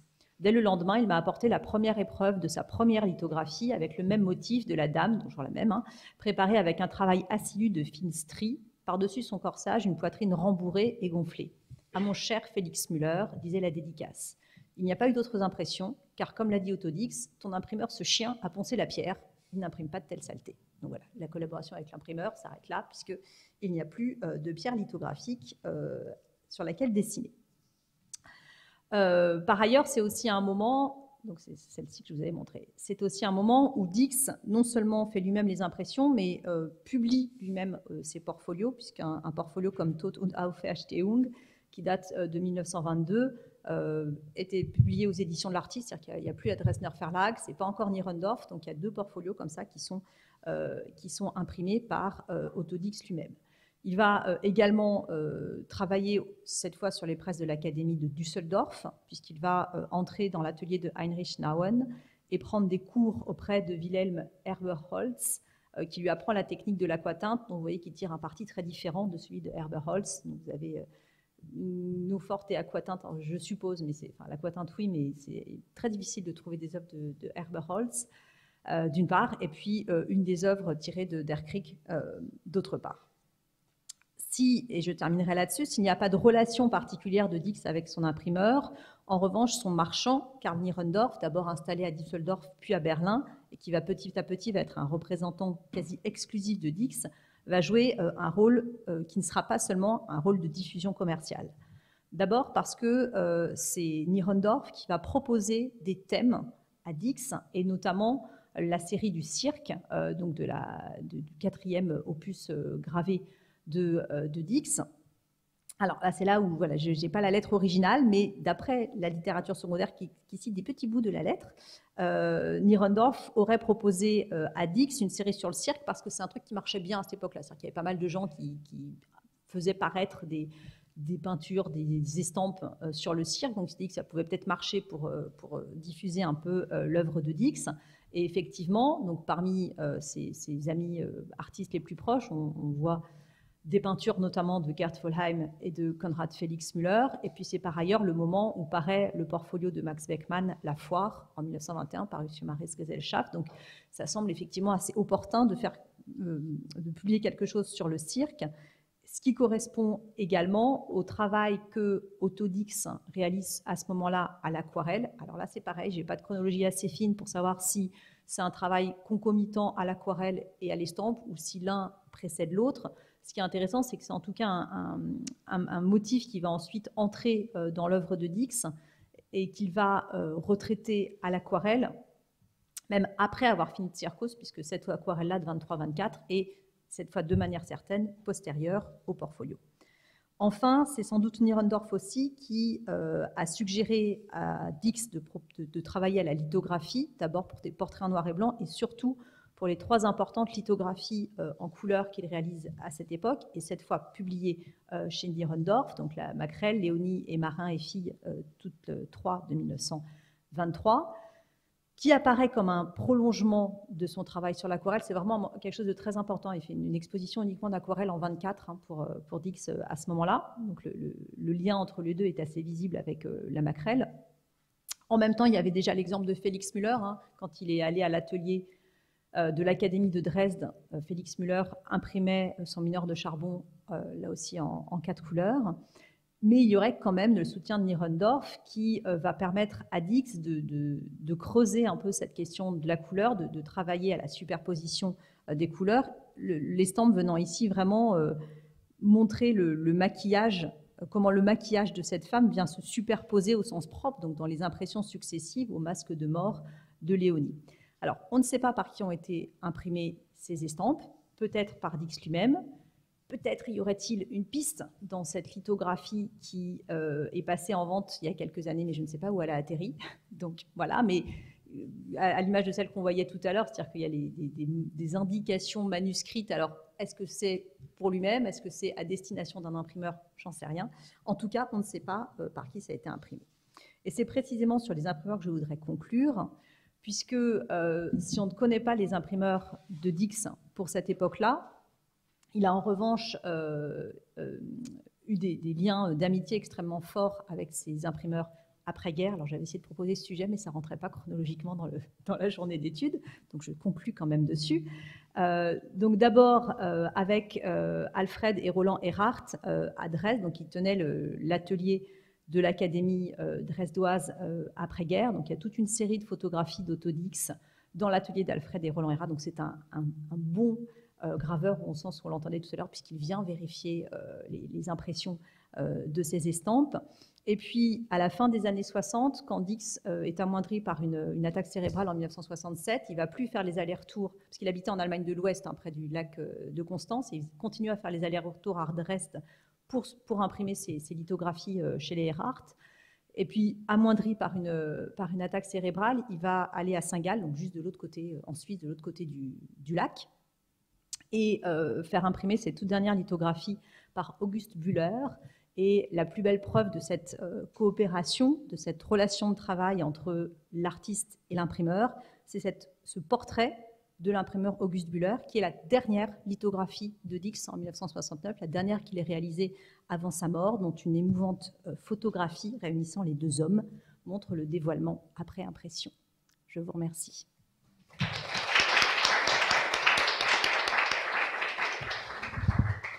Merci infiniment, euh, Marie, pour cette présentation euh, vivante, riche, qui nous guidait à travers les, pulsions de, Dix ces sidérations euh, visuelles et, sociales. Donc, quel épisode aille euh, vraiment, Johanna aille tout ça, et tout ça, et tout ça. Et, l'idée de la euh, de, de l'estampe comme médium de la subsistance aussi, je trouvais que ça a traité de, cela également, puis de, ce médium comme une collaboration entre artistes qui, où, tout d'un coup l'estampe devient le point de convergence d'intention à la fois technique et, et esthétique.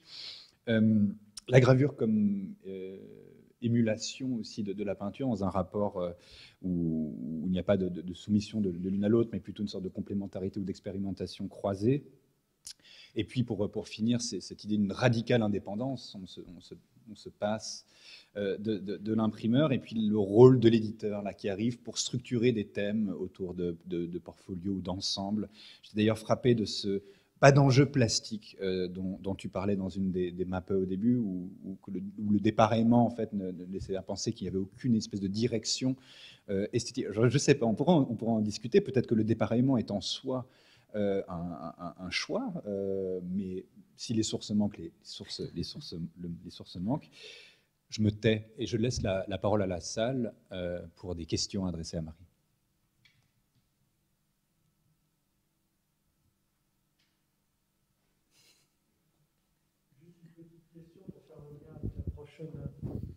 Intervention. Il, reste combien de portfolios d'Ertrig On connaît le nombre?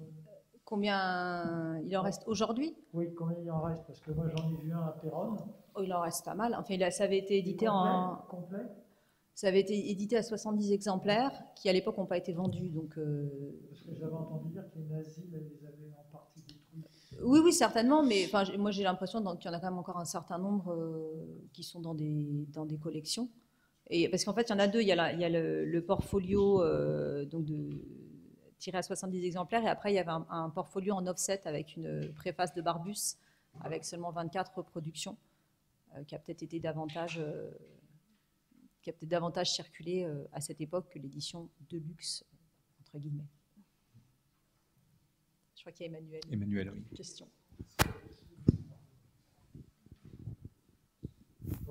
On est frappé par l'audace euh, et le, vraiment le manque total de concession des gravures de Todix euh, euh, de ces années 20, de les, premières que tu nous as montrées. Alors, une peinture, bon, on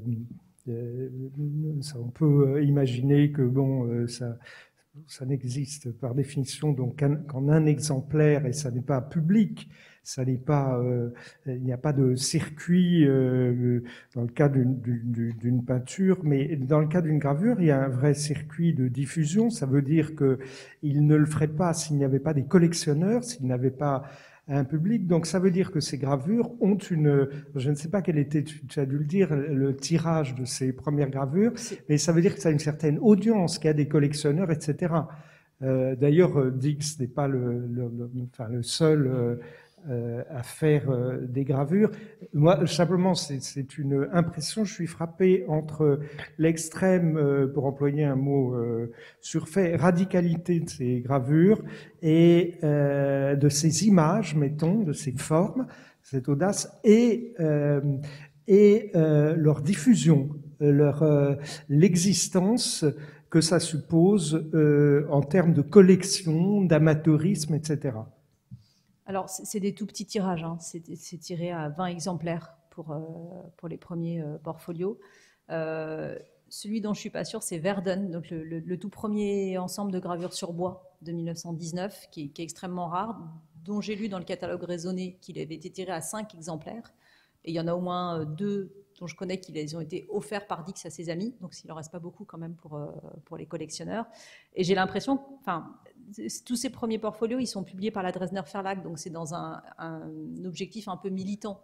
c'est mmh. dans le cadre de la sécession dresdoise, pour diffuser tout ça.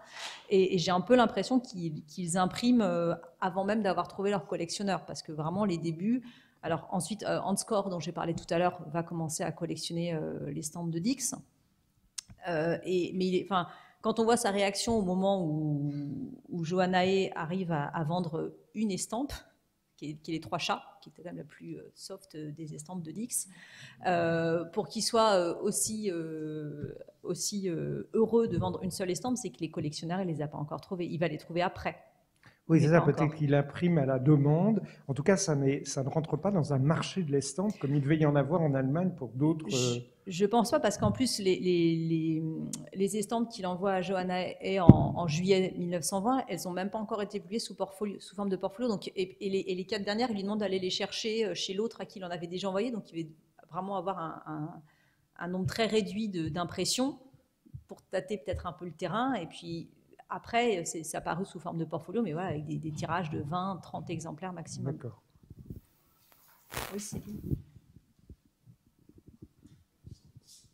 Pourquoi juste, euh, justement cette impression de temps, d'abord en, feuille isolée et ensuite en, portfolio? Pourquoi c'est, ça fera peut-être le lien aussi avec, euh, avec ce, que, ce, dont on va parler par la suite Pourquoi le, le, Honnêtement, je, je, j'en sais rien. Je pense qu'il avait peut-être pas d'éditeur où les, où les publier en portfolio euh, au départ. en 1920, il, il, teste en fait la technique de la taille douce. Euh, et c'est différent parce que, en fait, je me suis demandé pourquoi ça n'avait pas continué à apparaître chez euh, Richter à Dresde, comme le portfolio de bois, parce qu'après tout, il avait commencé par là, donc ça aurait pu continuer. Euh, mais peut-être, enfin, la gravure sur bois, elle est vraiment associée à cette seconde vague expressionniste. Et là, il passe à la taille douce, il passe à des choses beaucoup plus véristes, qui sont plus du tout dans le même thème. Donc, je pense que ça intéressait plus Richter, qui était, historiquement intéressé par l'expressionnisme. Et donc, je pense qu'au départ, il a de, il n'a pas d'endroit où publier. Et, la Dresdner Verlag, quand il, quand il publie son premier portfolio, c'est le premier portfolio publié par la Dresdner Verlag. Donc peut-être que tant qu'elle n'existait pas, enfin ça se joue à un an près, quoi, mais tant qu'elle n'existait pas, il n'avait pas de, il a personne pour, euh, pour les éditer, quoi. Voilà. Donc je pense que c'est pour ça qu'il a d'abord euh, imprimé un peu comme ça pour, euh, pour essayer de se faire connaître. Et puis après, avec la création de la Dresdner Verlag, il a pu réussir à les diffuser à un tout petit peu plus grande échelle.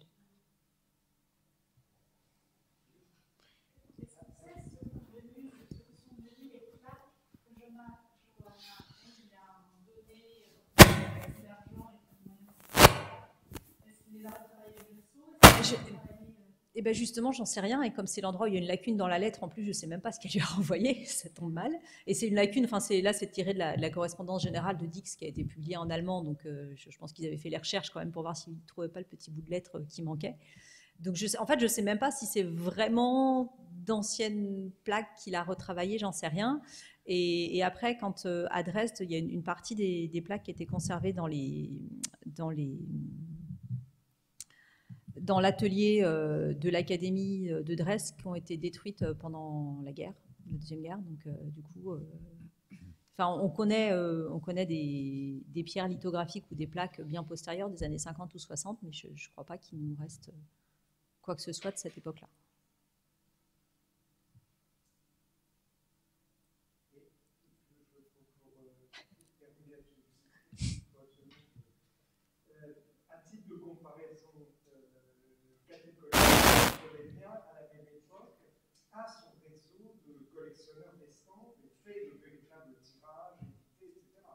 Oui, mais elle a commencé bien avant, Kate Kollwitz. Euh, donc, elle, a eu tout le succès avec ses, premiers portfolios qui lui a donné une, audience euh, importante à la fin du 19e.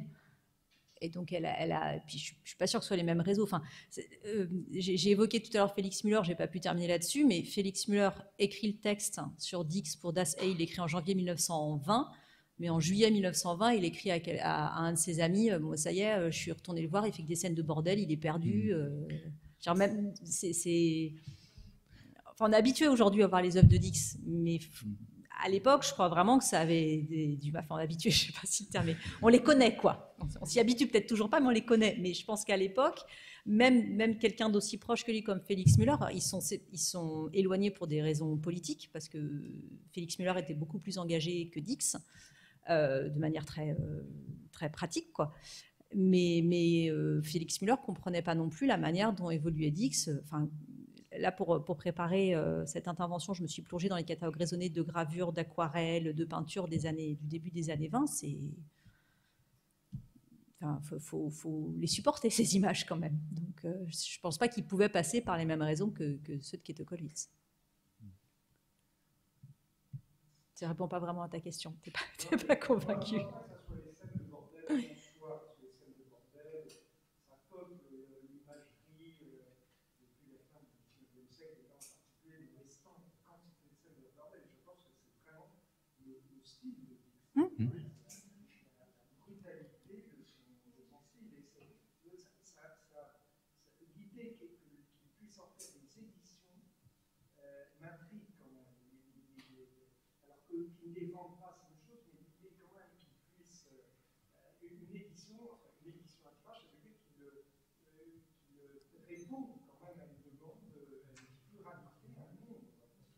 Les, premiers, c'est vraiment le côté militant de, la Dresdner Verlag euh, à, Düsseldorf. Et d'ailleurs, après, il y en a deux qu'il édite lui-même, avant que ce soit Nierendorf, peut-être parce qu'il ne trouvait plus personne pour, euh, pour éditer ses, œuvres.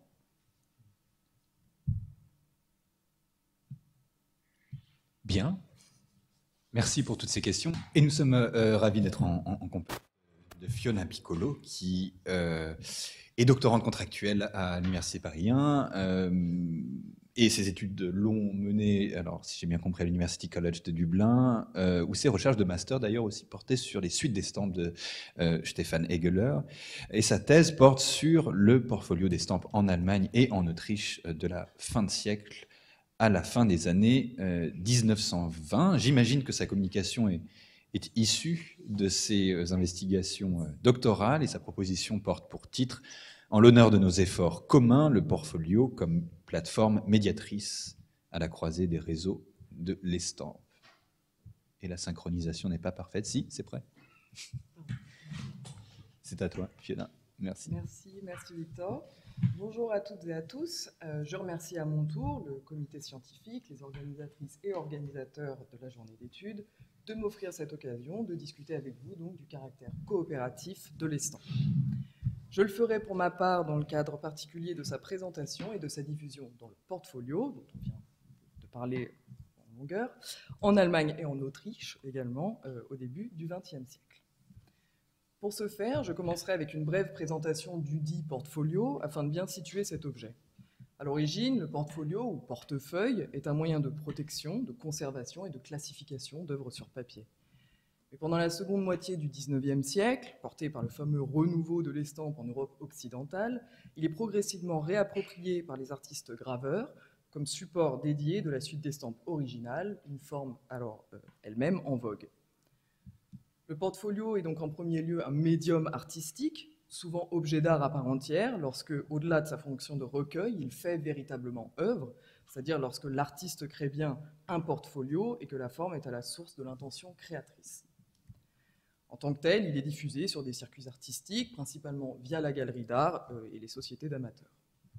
Néanmoins, le portfolio se distribue aussi sur un réseau littéraire. Il est produit et vendu par les éditeurs et libraires spécialisés, pardon, spécialisés dans l'édit Beaux Livres et autres éditions limitées. Il est ainsi également un format éditorial euh, de luxe. En somme, on peut considérer que le portfolio s'apparente à un objet d'art bibliophilique. Une typologie euh, formelle basique de l'objet portfolio s'appuie sur les trois composantes élémentaires de sa présentation, son contenu et sa constitution. S'agissant de sa présentation, on distingue des niveaux variés de sophistication matérielle, dont vous avez ici quelques exemples à l'écran. L'exemple sur la gauche s'apparente à une simple chemise cartonnée sur laquelle est apposée une étiquette indiquant le nom de l'artiste et le titre de la suite. Celui du milieu correspond quant à lui, avec sa couverture au tissu ornemental floral, un objet déjà plus luxueux, plus décoratif en tout cas. Enfin, à l'exemple de droite correspond un portfolio sur la couverture duquel est collée une estampe de l'artiste ou parfois d'un des artistes responsables de sa création, ici en l'occurrence Max Pechstein. En matière de contenu, s'établissent tout d'abord des distinctions entre les types d'ensemble d'estampes que contient le portfolio, comme notamment le rassemblement de disparates, dont on parlait à l'instant, la suite thématique, construite et unitaire, ou encore le cycle narratif et séquentiel. Il est également notable que le portfolio reprend régulièrement des caractéristiques formelles du livre, comme la page de titre, le sommaire, la préface, le colophon, etc., comme le montre ici cet exemple par Walter Helbig. Pour autant, les estampes qu'il contient ne sont ni reliées entre elles, ni à la couverture, et c'est cette caractéristique, entre autres, euh, qui le différencie, qui le distancie donc de formes comme le livre, le recueil ou encore l'album. Concernant sa constitution, enfin, se différencient les portfolios individuels, qui contiennent donc la production d'un artiste unique, des portfolios inversement collectifs, créés par ou réunissant les estampes de plusieurs artistes. Par ce biais du portfolio, j'aborderai donc divers modes et diverses conceptions du coopératif en rapport au médium de l'estampe, notamment dans le contexte de l'atelier de gravure et sa représentation, avec une réflexion sur les réseaux de production, réseaux de diffusion, mais aussi des réseaux de sociabilité de l'estampe. Dans le contexte également de projets éditoriaux fondés sur une véritable collaboration ou coopération créative et conceptuelle, ici incarnée ou plus justement portée par le portfolio collectif, œuvre commune, symbole d'unité. Enfin, je, porterai mon attention sur les aspects coopératifs de l'estampe en portfolio dans le cadre des associations entre médias artistiques, ici plus particulièrement entre texte, images et théâtre. Le portfolio d'estampes s'établit ainsi comme objet fédérateur, porteur du multiple et vecteur d'unité, représentant du collectif et œuvre commune, intermédiaire, voire intermédial, en tout coopératif. En tant que support dédié, le portfolio participe déjà à ces dimensions intrinsèquement coopératives de l'estampe, dont les techniques de production et de diffusion mobilisent tout un réseau de professionnels, depuis l'artiste jusqu'au libraire et au, au marchand d'art, en passant par l'éditeur, l'imprimeur et le relieur. Ici s'impose à l'esprit ce motif courant, dont on a vu de très nombreuses et belles variations aujourd'hui, répété et décliné à travers les siècles, donc, que l'on observe à l'écran, motif de l'atelier de gravure comme espace de création collaborative, avec sa multiplicité de métiers rassemblés par la tâche commune. La pratique de la gravure dite originale, connotative de rareté et de singularité, implique inversement que le graveur, ici artiste, produise en solitaire et soit l'unique responsable de sa conception, suivant le modèle mythique du génie créateur isolé. Pourtant, cet aspect particulièrement coopératif de la production de l'estampe, avec la présence de l'artiste graveur dans l'atelier, est souvent célébré dans des reprises similaires de ce motif. C'est par exemple le cas dans cette gravure sur bois de Frank Brangwyn, un artiste peintre, graveur et designer gallois, gravure donc qu'il utilise pour la page de titre de son portfolio 20 œuvres graphiques, publié en 1922 aux éditions Arthur Wolf à Vienne, en Autriche ainsi que l'a décrit Arthur Wolff lui-même dans un entretien, je cite, On y voit deux hommes devant la roue d'une presse à taille douce qui examinent une gravure tout juste imprimée, et depuis la droite, des personnes intéressées par l'art observent la scène. Combien de fois me suis-je moi-même tenu dans une imprimerie à côté de la presse pour expertiser des impressions? Cette gravure décrit comme nul autre mon métier. Naturellement, cette estampe fut un grand succès auprès des, auprès des collectionneurs qui comprenaient quelque chose à l'art graphique. C'est de fait un choix évocateur que fait Brangwyn d'introduire son portfolio avec un tel motif.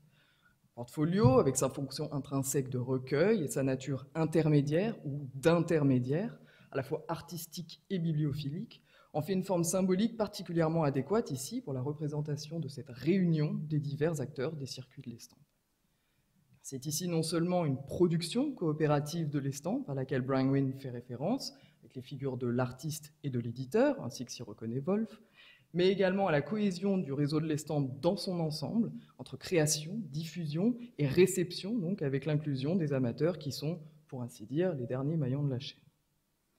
Par ailleurs, le choix d'inclure l'amateur dans l'atelier pourrait même vouloir impliquer ici sa participation, sa coopération à l'étape même de conception de l'estampe. Le caractère singulièrement coopératif de l'estampe se manifeste ainsi à travers la communauté qui comprend quelque chose à l'art graphique, ainsi que le formule Wolf, grâce à sa valeur de sociabilité. Dans sa thèse sur les sociétés d'amateurs en Allemagne au XIXe et au XXe siècle, Thomas Schmitz donne à ce propos des exemples très concrets de collaboration entre les membres honoraires des sociétés pour la sélection d'estampes apparaître dans les portfolios annuels qui leur étaient destinés. Il explique, par exemple, je cite, qu'afin de s'assurer de satisfaire les goûts du plus grand nombre, l'association nurembourgeoise Albrecht Dürer décida d'introduire une démocratie directe grâce à laquelle les portfolios annuels potentiels étaient exposés pendant plusieurs semaines dans les locaux de l'association et ainsi librement soumis au vote de l'Assemblée des actionnaires. Il est clair ici que la coopération s'inscrit comme performance de la sociabilité, dont le portfolio, objet représentatif de ces sociétés, se fait ici le vecteur matériel et symbolique. Cet exemple met bien en lumière la façon dont les caractéristiques formelles, la constitution spécifique du portfolio favorisent des pratiques et des utilisations coopératives de l'estampe. De fait, les estampes du portfolio peuvent en être extraites, exposées, échangées, replacées, ordonnées, désordonnées, en somme manipulées. Et cette maniabilité, cette flexibilité matérielle particulière du portfolio favorise la circulation, elle accroît les capacités d'échange, de partage, en somme de coopération, c'est-à-dire du faire ensemble, entre production, diffusion et ici réception du médium de l'estampe dans un cadre particulièrement social ou sociabilisant. C'est notamment de cette forme représentative du portfolio annuel de sociétés d'amateurs que s'inspirent les, nombreux projets éditoriaux qui s'approprient ce format dès la fin de siècle et au début du XXe. Le portfolio prend alors sa forme qu'on peut qualifier de collective, non seulement parce qu'il contient les œuvres de plusieurs artistes et constitue une collection, mais aussi et surtout parce qu'il vient à signifier, porter l'entité symbolique du collectif d'artistes, d'une union autour d'une idée, d'une formule ou d'une tendance artistique singulière. En ce sens, se démarque dans les discours qui entourent à la fois la création et la diffusion de ces œuvres des références explicites et récurrentes à l'idée de coopération, de collaboration. En 1921 est lancé au Bauhaus un projet éditorial intitulé Neue Europäische Grafik, soit Nouvelle Estampe européenne ou Nouvel Art graphique européen. Ce projet prévoyait la publication de cinq portfolios d'estampes originales produites par les artistes représentants des avant-gardes allemandes, françaises, hollandaises, italiennes et russes. La série s'inscrit ainsi en, en concordance idéologique et systématique claire avec les ambitions inclusives et globalisantes du Bauhaus, qui se revendique comme confédération cosmopolite d'artistes et laboratoire d'une union entre les arts, la technique et l'industrie. Dans le programme même de la Neue Europäische Grafik se trouve une référence directe à la dimension proprement coopérative de la série, puisque la participation des divers artistes y est qualifiée de Opferwilliger Mitarbeit, ou coopération volontaire. L'utilisation du terme volontaire, au-delà de sa signification évidente, renforce encore ici cette, idée d'un véritable engagement de la part des artistes participants, une véritable unité collaborative. Lionel Feininger, artiste peintre et graveur germano-américain, maître du Bauhaus et ici nommé directeur artistique du projet par Walter Gropius, lui-même directeur de l'institution, s'exprime lui-même dans sa correspondance avec des termes similaires. Je le cite, on ne voit pas exactement. Hein. On m'a confié la responsabilité de cette œuvre, à savoir les portfolios du Bauhaus. En fait, c'est une œuvre, comme beaucoup d'autres, en l'honneur de nos efforts communs. L'idée, la volonté de coopération s'affirme ainsi comme l'origine même de ces portfolios collectifs du Bauhaus.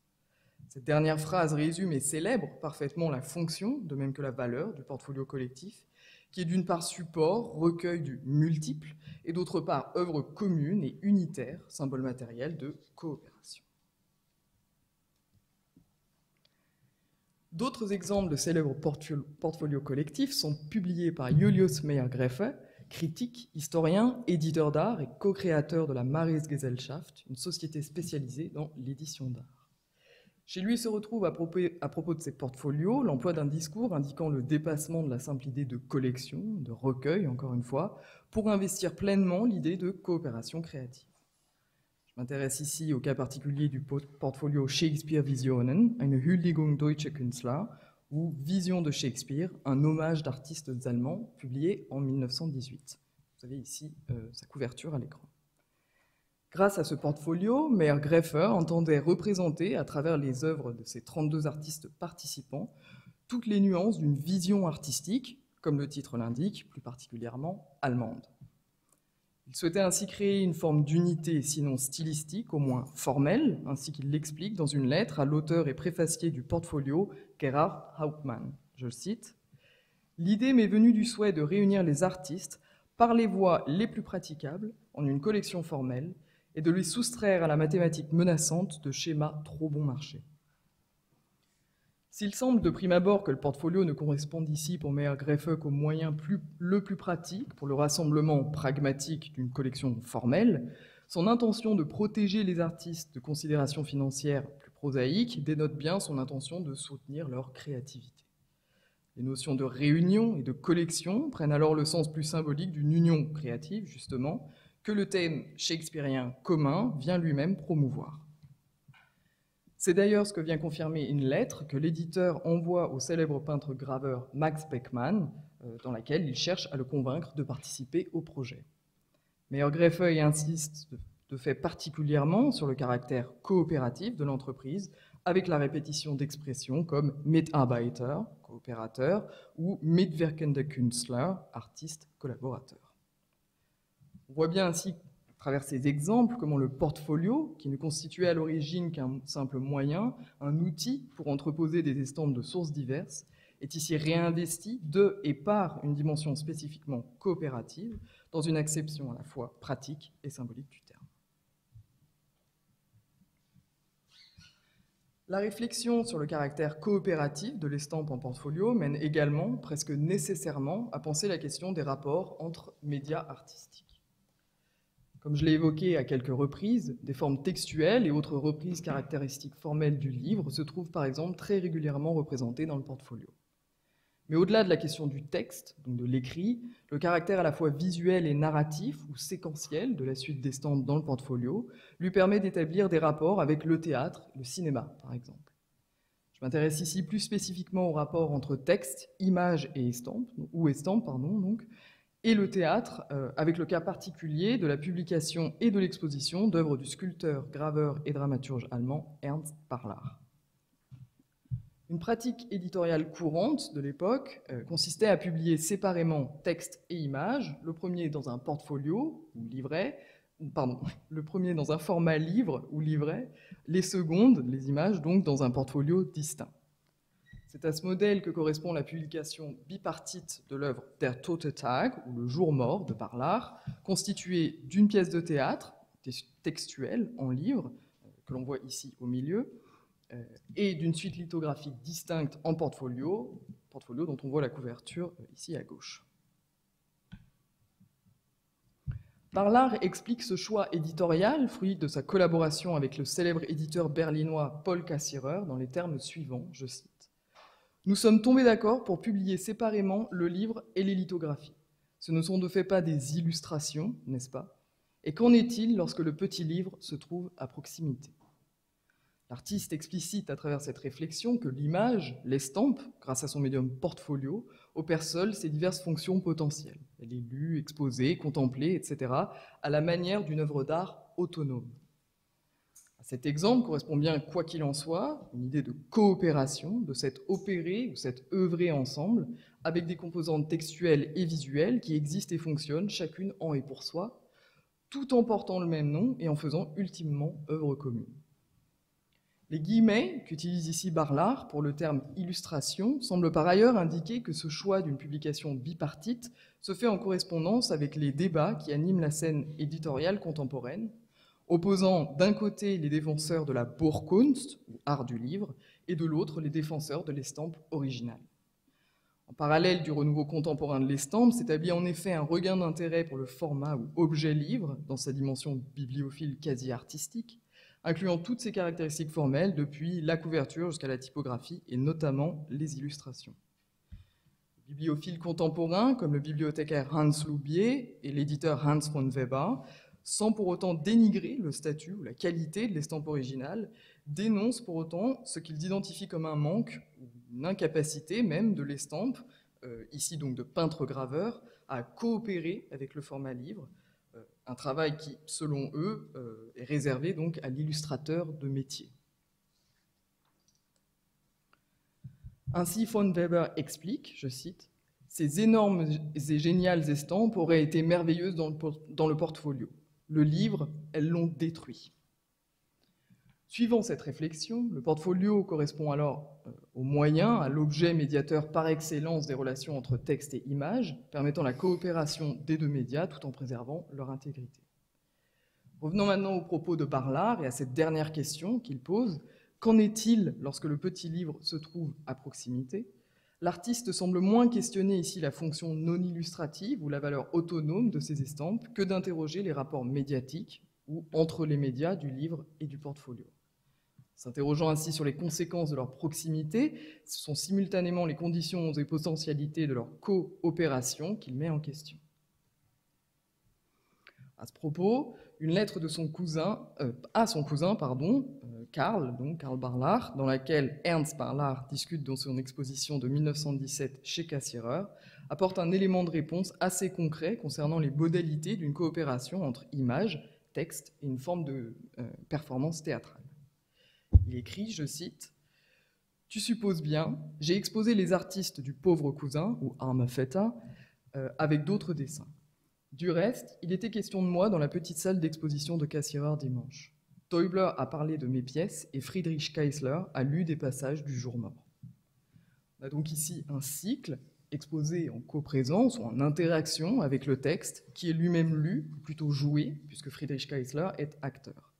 Il est ainsi question d'une association, d'une performance simultanée et potentiellement coopérative du visuel, du textuel et du théâtral. S'il s'agit bien dans cet exemple de deux œuvres distinctes de Barlard, avec d'un côté le cycle Le pauvre cousin et de l'autre la pièce Le jour mort, on peut imaginer un événement similaire où cycle, texte et performance seraient tous partie intégrante d'une même œuvre générale. Les œuvres visuelles et textuelles, ainsi déployées à travers plusieurs médias, coopéreraient par la performance commune à l'élaboration de l'œuvre générale composite, ici dans son intégralité. Le caractère intermédiaire et d'intermédiaire du portfolio, artistique et bibliophilique, multiple et unitaire, émancipateur et fédérateur, en fait ainsi un objet particulièrement propice à la matérialisation et à la médiation de formes associatives de création comme de réception de l'estampe. De même, à cette ambivalence pardon, signifiante et matérielle de l'unité multiple que représente le portfolio correspond presque nécessairement une capacité coopérative. Caractéristique lui permet à la fois de porter littéralement et symboliquement le collectif d'artistes et d'établir des relations avec des formes et dispositifs alternatifs de représentation. Pour poursuivre cette réflexion sur le caractère singulièrement médiateur du portfolio d'estampes, on pourrait s'interroger sur les rapports formels et fonctionnels qu'il entretient avec des pratiques de collection et ou de diffusion, alternativement traditionnelles et émergentes, dont il est simultanément représentatif.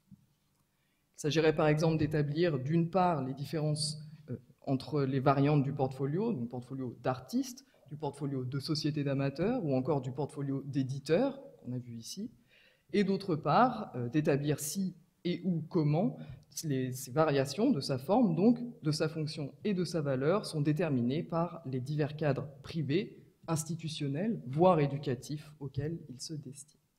Je m'arrêterai là, je vous remercie.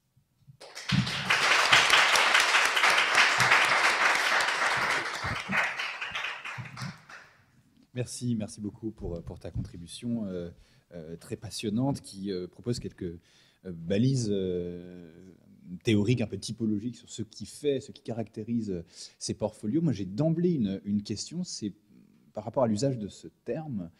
Euh, même à, l'époque, euh, par rapport au terme de Mappen, par exemple, qu'on voit souvent en allemand. Est-ce que euh, c'est rétro-appliqué, ce terme de portfolio? Comment ça fonctionne?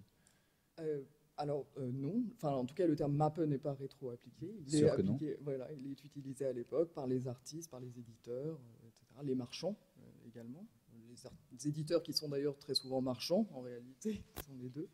Euh, après, euh, il est certain que toujours aujourd'hui, il reste euh, des, comment dire, il reste à établir une véritable typologie du portfolio, puisqu'il est souvent, enfin, je veux dire, des albums sont appelés portfolio, euh, des, on a, des cassettes sont appelées des portfolios également. Je pense qu'à partir du moment où les feuilles, les estampes, l'imprimé n'est pas relié, on aurait tendance à appeler, euh, peu importe la forme qui, qui les tient, un portfolio, alors que ce n'est pas forcément Mhm. toujours le cas. Euh, euh, merci. Euh, oui, sur, sur cette euh, unité euh, multiple, hein, qui était un peu euh, la- la- le chemin conclusif de ton, de ton intervention, euh, moi je rebondis simplement sur la Maris Gesellschaft, qui est un peu l'endroit où j'ai un, minimum d'e- d'expertise pour avoir consacré ma thèse à Maya Greff, mais il y a vraiment cette idée-là, en fait, de, euh, dans le contexte de l'après-première guerre mondiale, de, réunir, euh, de réunir les artistes, de réunir les peuples et de- d'envisager une union une unité qui ne soit pas celle de l'union sacrée ou de, euh, de, de l'union nationale euh, vulgaire, disons, mais, mais celle, celle des esprits. Euh, donc il y, y a vraiment tout ce projet-là derrière et très symboliquement et très physiquement, concrètement, euh, comme, comme tu le disais, il y a le, le portfolio concentre hein, cette, euh, cette, cette envie de faire ensemble, de mitmachen, euh, comme on dit souvent en allemand. Je me tais à nouveau et je passe la parole à la salle. En fait, ce n'est pas de question, but de re- remarks, if that's okay. Uh, first of all, you could also argue completely against the corroborative character of the portfolio by saying it's something that is hidden. So you close it off. So um, where your pastels or your pintura are all on the wall for everyone to see, uh, the portfolio is closed and you can choose for yourself when you open it, and it's mostly alone. So if there's erotic prints in it or very dark prints like Redon, it is better for it to be hidden and maybe with very close confrères you will share, but it's it's more private than cooperative. And the second thing I wanted to say is about Meyer Greve because he says the idea suddenly came to him to do this, but he already made an album in France called Charminal, uh, like years before. So it is actually, I think, a French model that he took with him to Germany. Um, and I think there are also other nice continuations, of course, since Rembrandt or even Goya. So it's a long tradition, but also with the performance theater, you have Picard, who was one of the first collectors of Redon, and he did a performance of Le Juré at La Fente, where he was sort of darkening the room and put all the prints and drawings in it, and then he also gave a performance. So there's an interesting connection there too. But thank you for your talk. Absolutely, yes. Just about just uh, regarding the idea of um, you know, uh, Mayor Greffe said, "Oh, the idea suddenly came to me." It's not necessarily about the portfolio form that the idea came to him. He was more uh, uh, about the German uh, collection. You know, he was trying to create this uh, formal reunion, um, sort of a German school, without being a German school of, um, you know, graphic arts or something like that. So it's not uh, the portfolio. Obviously, was not like his idea, and I don't think he believed it was. But, yeah. Uh, well, yeah, but I think I think this one. You'll correct me, obviously, if I'm wrong. But I think this one, although it's focused on a German, on German artists and a German production, it's still international in scope. First of all, because of the Shakespearean uh, t- theme, obviously, and also because it's a way of integrating German artists in the international scene. You know, because if we look at it in the, uh, through the lens of painting, German artists were considered maybe lesser artists than French artists, for example, and you know, graphic arts were a way to, you know, sort of, yeah, include them maybe in this international um, art scene,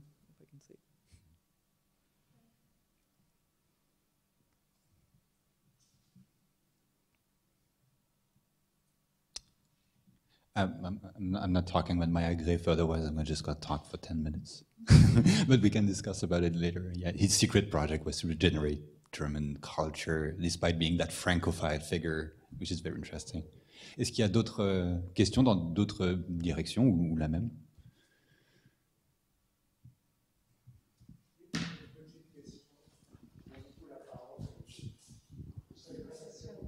Je voulais savoir, est-ce qu'on est dans une pleine période de développement des musées euh, et au fond, les portfolios sont des, comme des, des ensembles, des sortes de petites collections d'œuvres. Je voudrais savoir si certains musées, dans le, parce que dans le musée moderne euh, allez, tout un ensemble de produits dérivés. On est à la, je ne sais pas, enfin bon, il faudrait préciser, c'est pas c'est pas ma spécialité, mais on voit le, des cartes postales, etc. Est-ce que certains musées euh, éditent euh, des portfolios de reproduction, des reproductions de, bah, je ne sais pas, est-ce qu'on euh, euh, il faudrait savoir ce qu'il en est pour le Louvre, etc. Ça peut être certains de nos collègues euh, spécialiste de muséographie. Euh, il y a peut-être comme ça des, euh, des,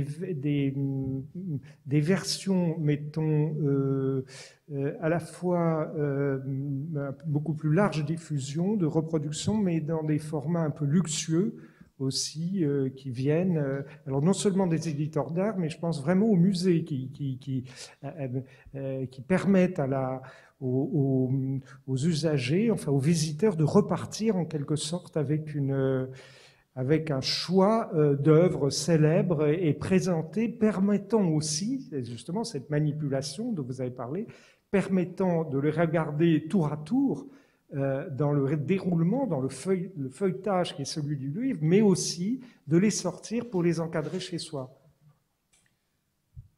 Alors, euh, concernant l'édition par le musée spécifiquement, j'avoue que je ne connais pas d'exemple. Euh, par les sociétés d'amateurs, qui est une autre institution, c'est évidemment pas la même chose et pas le même but, disons, didactique ou éducatif. en revanche, Meilleur Greffel encore une fois un grand exemple de l'inverse de l'éditeur qui produit des portfolios, Meilleur Greffel les appelait des musées de papier d'ailleurs, ces portfolios, de reproduction. Alors, avec des estampes originales de temps en temps également, euh, et avec des éditions spéciales qu'il appelait Museum Ausgabe, donc il prévoyait pour euh, les musées. Et euh, donc son, idée était de donner, enfin de vendre ses portfolios aux musées pour justement, enfin à des fins de diffusion et d'éducation du public. Voilà. Ce qui a créé des énormes débats, évidemment, notamment en 1929, je crois, une, une, exposition à Hanovre, si je ne dis pas de, bêtises, à la Kessner Gesellschaft, où on a exposé des portfolios de reproduction qu'on a laissé manipuler euh, justement par le public, euh, etc. Et évidemment des grands débats sur euh, la question de l'œuvre originale, la reproduction, ce, que doit-on montrer, que doit-on diffuser, etc. Mais en ce qui concerne l'édition par le musée d'un portfolio de reproduction, voilà, pour, le public qu'il puisse emporter chez lui. J'avoue ne pas connaître d'exemple, mais c'est très intéressant, effectivement. Je trouve qu'il y a une question dans cette question, euh, mais c'était une réponse, je souscris parfaitement, mais ce qui est, la question de, comment est-ce qu'on éprouve ces objets? Quelle expérience on en fait? Est-ce qu'on peut faire l'histoire de l'expérience de ces objets? Comment on les manipule À quelle occasion on les sort euh, Nous, les seuls rapports qu'on a à cela, c'est en bibliothèque avec... Euh, avec nos gants euh, et, nos commandes, et c'est compliqué, et ce n'est pas partout, ou sur le marché, où en fait ces portfolios sont aujourd'hui pour la plupart démembrés. Et dans le cas de la Maris Gesellschaft ou des portfolios de Beckmann, on parlait de Jahrmarkt ou Gesichter, on en trouve aujourd'hui voilà, au compte-gouttes parce qu'elles sont signées, donc elles ont ces feuilles ont d'autant plus de, valeur. Mais je trouve que cette question de, comment, comment éprouve-t-on ces objets, comment, comment en jouit-on en fait, euh, intéressante. Je ne sais pas s'il y a une réponse. Alors, euh, oui, en quelque sorte, elle est liée, à mon avis, à la, alors, au type de suite ou de type d'ensemble d'estampes qu'on a dans le portfolio déjà, et à la fonction du coup que ce, cet, cet ensemble va donner au portfolio. Je m'explique un peu plus précisément. Par exemple, lorsqu'on a des suites narratives, euh, on peut partir du principe que le portfolio peut être également lu. C'est une histoire, on, peut le feuilleter, euh, la manière d'un livre, etc. On a beaucoup de représentations. Donc ici, voilà, on a des collectionneurs qui observent des estampes ensemble, mais on a beaucoup de scènes également de familles mmh. ensemble qui lisent, feuillettent des portfolios. Euh, on a des scènes, des, peintures, donc notamment d'Alma Tadema, il me semble. un enfant, une enfant qui feuillette un portfolio elle aussi. Donc peut-être une fonction et une, voilà, récréative en quelque sorte, éducative aussi, puisqu'il est souvent question d'enfants, ces représentations. Au-delà de cela, je pense que le, portfolio est effectivement, comme le disait Fleur également, un, quand même un objet en quelque sorte de l'ombre, hein, l'objet de collectionneur, voilà, ou, enfin, c'est en quelque sorte un, entrepôt, si je peux me permettre le terme, vraiment. Euh, voilà. Une ultime question ou remarque?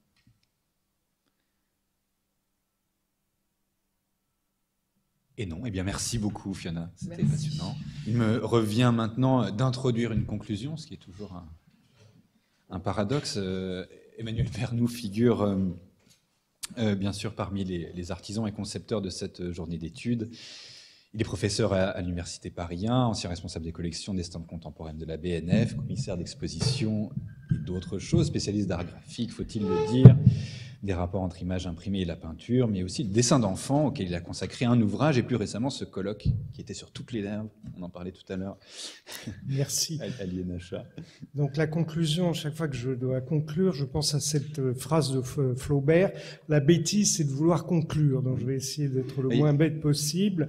Euh, euh, ça met la barre assez haut euh, quand Flaubert, Flaubert au-dessus de ma tête. Donc voilà, je voudrais d'abord dire que cette, cette journée d'études rend visible hein, un champ qui est peu apparent de la recherche, l'estampe. Pourquoi peu apparent? Parce que dispersé. et cette journée a eu le mérite de fédérer les recherches, de mettre en rapport les chercheurs. Euh, j'espère que ce n'est qu'un début, car à mon avis, beaucoup reste à faire dans ce domaine. Ce qu'il faudrait, au fond, euh, c'est qu'une nouvelle impulsion soit donnée à la recherche sur l'estampe et l'image imprimée, qui reste quand même un peu les parents pauvres des travaux universitaires, et il faut bien le dire aussi des expositions. Euh, tout étant lié, hein, quelques exceptions tout de même, comme la très belle et très instructive exposition Volard, qui est actuellement au Petit Palais. Donc il faudrait que les stands soient mieux pris en compte à la fois par les musées et la recherche universitaire. De ce point de vue, d'ailleurs, notre journée d'études est exemplaire puisqu'elle est née d'une collaboration euh, d'un musée, le musée d'art et d'histoire euh, Louis Sanlec, et de l'INHA, de conservateurs et d'universitaires. Il y a en France de grands spécialistes de l'estampe et de l'image imprimée, mais il n'y a pas, si vous voulez, de tendance de la recherche comme il y en a en histoire de la photographie, en histoire de la mode, en histoire des expositions, pour ne prendre que ces exemples. On peut citer aussi l'importance de l'histoire matérielle et de l'histoire du marché de l'art. Je cite ces orientations actuelles de l'histoire de l'art parce que certaines des communications que nous avons entendues font profiter l'histoire de l'estampe des acquis de ces nouvelles approches. Euh, et l'estampe, au fond, ça reste un peu un ovni dans notre discipline, un ovni d'ailleurs un peu poussiéreux, un peu indistinct.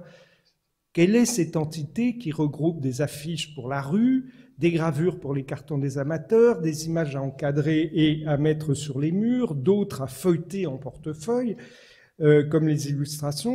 Une pluralité d'objets et de pratiques qui a traversé notre journée d'études. Euh, qui fait à la fois la richesse de l'estampe et sa fragilité conceptuelle, hein, son indéfinition. Euh, je pense que beaucoup de gens, et même parmi des historiens de l'art, euh, ont du mal à dire ce qu'est une estampe. Euh, pourtant, sans remonter jusqu'à Henri Faucillon et à Léon Rosenthal, l'estampe fut un considérable objet d'étude il n'y a pas si longtemps, avec la génération des Michel Melot, Henri Zerner, Ségolène Lemaine, qui fut également celle de Patricia Menardi, de Richard Field, de Riva Castleman, de Philippe Denis Kate. Il n'y a qu'à se reporter euh, euh, au numéro des nouvelles de l'estampe dans les années 70. Euh, on n'imagine pas à quel point l'estampe, en particulier celle du 19e siècle, attirait les chercheurs. On était dans un âge d'or de l'histoire sociale de l'art, en un temps marqué par les engagements politiques des années 60, hors l'estampe, images multiples, qu'elles soient anonymes ou signées Manet, symbolisait une forme d'utopie de l'art pour tous, voire de l'art par tous, par des graveurs n'ayant pas le titre d'artiste lorsqu'elle s'appelait par exemple l'image d'Épinal. Elle représentait aussi l'art né du collectif, et mai 68, hein, avec ces belles affiches anonymes sorties des presses de l'atelier de l'école des beaux-arts, symbolisait au présent ce qui attirait les historiens de cette génération dans l'estampe. Euh, la rencontre de l'histoire et du présent se produisit lorsque Jean Adémar, directeur du cabinet des estampes, envoya tous les conservateurs et tous les bibliothécaires de son département au quartier latin pour collecter ces affiches. C'est resté euh, dans les annales du euh, département des estampes de la Bibliothèque nationale. Et c'est personnellement ce que j'ai infiniment apprécié dans cette journée d'études, une approche renouvelée de l'histoire de l'estampe qui sache percevoir et analyser la dimension coopérative de l'estampe. L'estampe est un médium, on le sait, c'est une image de diffusion faite pour le nombre, petit nombre ou grand nombre, mais ici par médium, euh, il faut entendre autre chose, un médium entre les différents protagonistes qui sont à l'origine de cette image, artistes, imprimeurs, éditeurs, mais il faudrait mieux dire, et on l'a dit, artistes, éditeurs, graveurs, tireurs, pressiers, chromistes, sans oublier la presse elle-même. Tout au long de cette journée, il s'est agi de processus créatif, mais ici la génétique de l'œuvre, et contrairement au dessin, c'est proche de l'estampe sur le plan formel et matériel, se fait entre plusieurs mains. Euh, dans une chaîne de coopération qui compte non seulement les gestes, mais les mots, les expressions, les usages. J'aime beaucoup la, formule de Gérard, du peintre Gérard Fromanger, qui vient de nous quitter, d'ailleurs, il est mort il y a, il y a quelques jours. Lorsqu'on lui demandait ce que l'estampe représentait pour lui, je le cite, Le bonheur de l'estampe, c'est pour moi le moment où je la fais, c'est-à-dire tout ce qui se passe entre les artisans, la presse et moi pendant les jours où nous travaillons ensemble. Il citait d'ailleurs la presse. Au fond, tout au long de cette journée d'études, on a parlé de rapport professionnel. Et à l'image du visuel qui a servi pour le programme de cette journée, on a parlé d'un espace aussi concret que sont concrètes les relations qui s'y déroulent, un lieu qui s'appelle l'atelier. Et tout le monde ne parle ces jours-ci que de la nécessité vitale que de retrouver le lieu de travail, le lieu d'étude, pour pouvoir bien étudier et bien travailler. Le distanciel et le télétravail ont montré leurs limites et même leur nocivité. Et je trouve qu'il n'y avait pas de plus beau symbole de l'importance du lieu commun pour le travail et pour l'étude. Hein. Euh, on est bien, notre, puisque notre journée est une journée d'études, que ces ateliers de création, que sont les imprimeries et les éditions d'estampes au tournant des 19e et 20e siècles. Je vous remercie.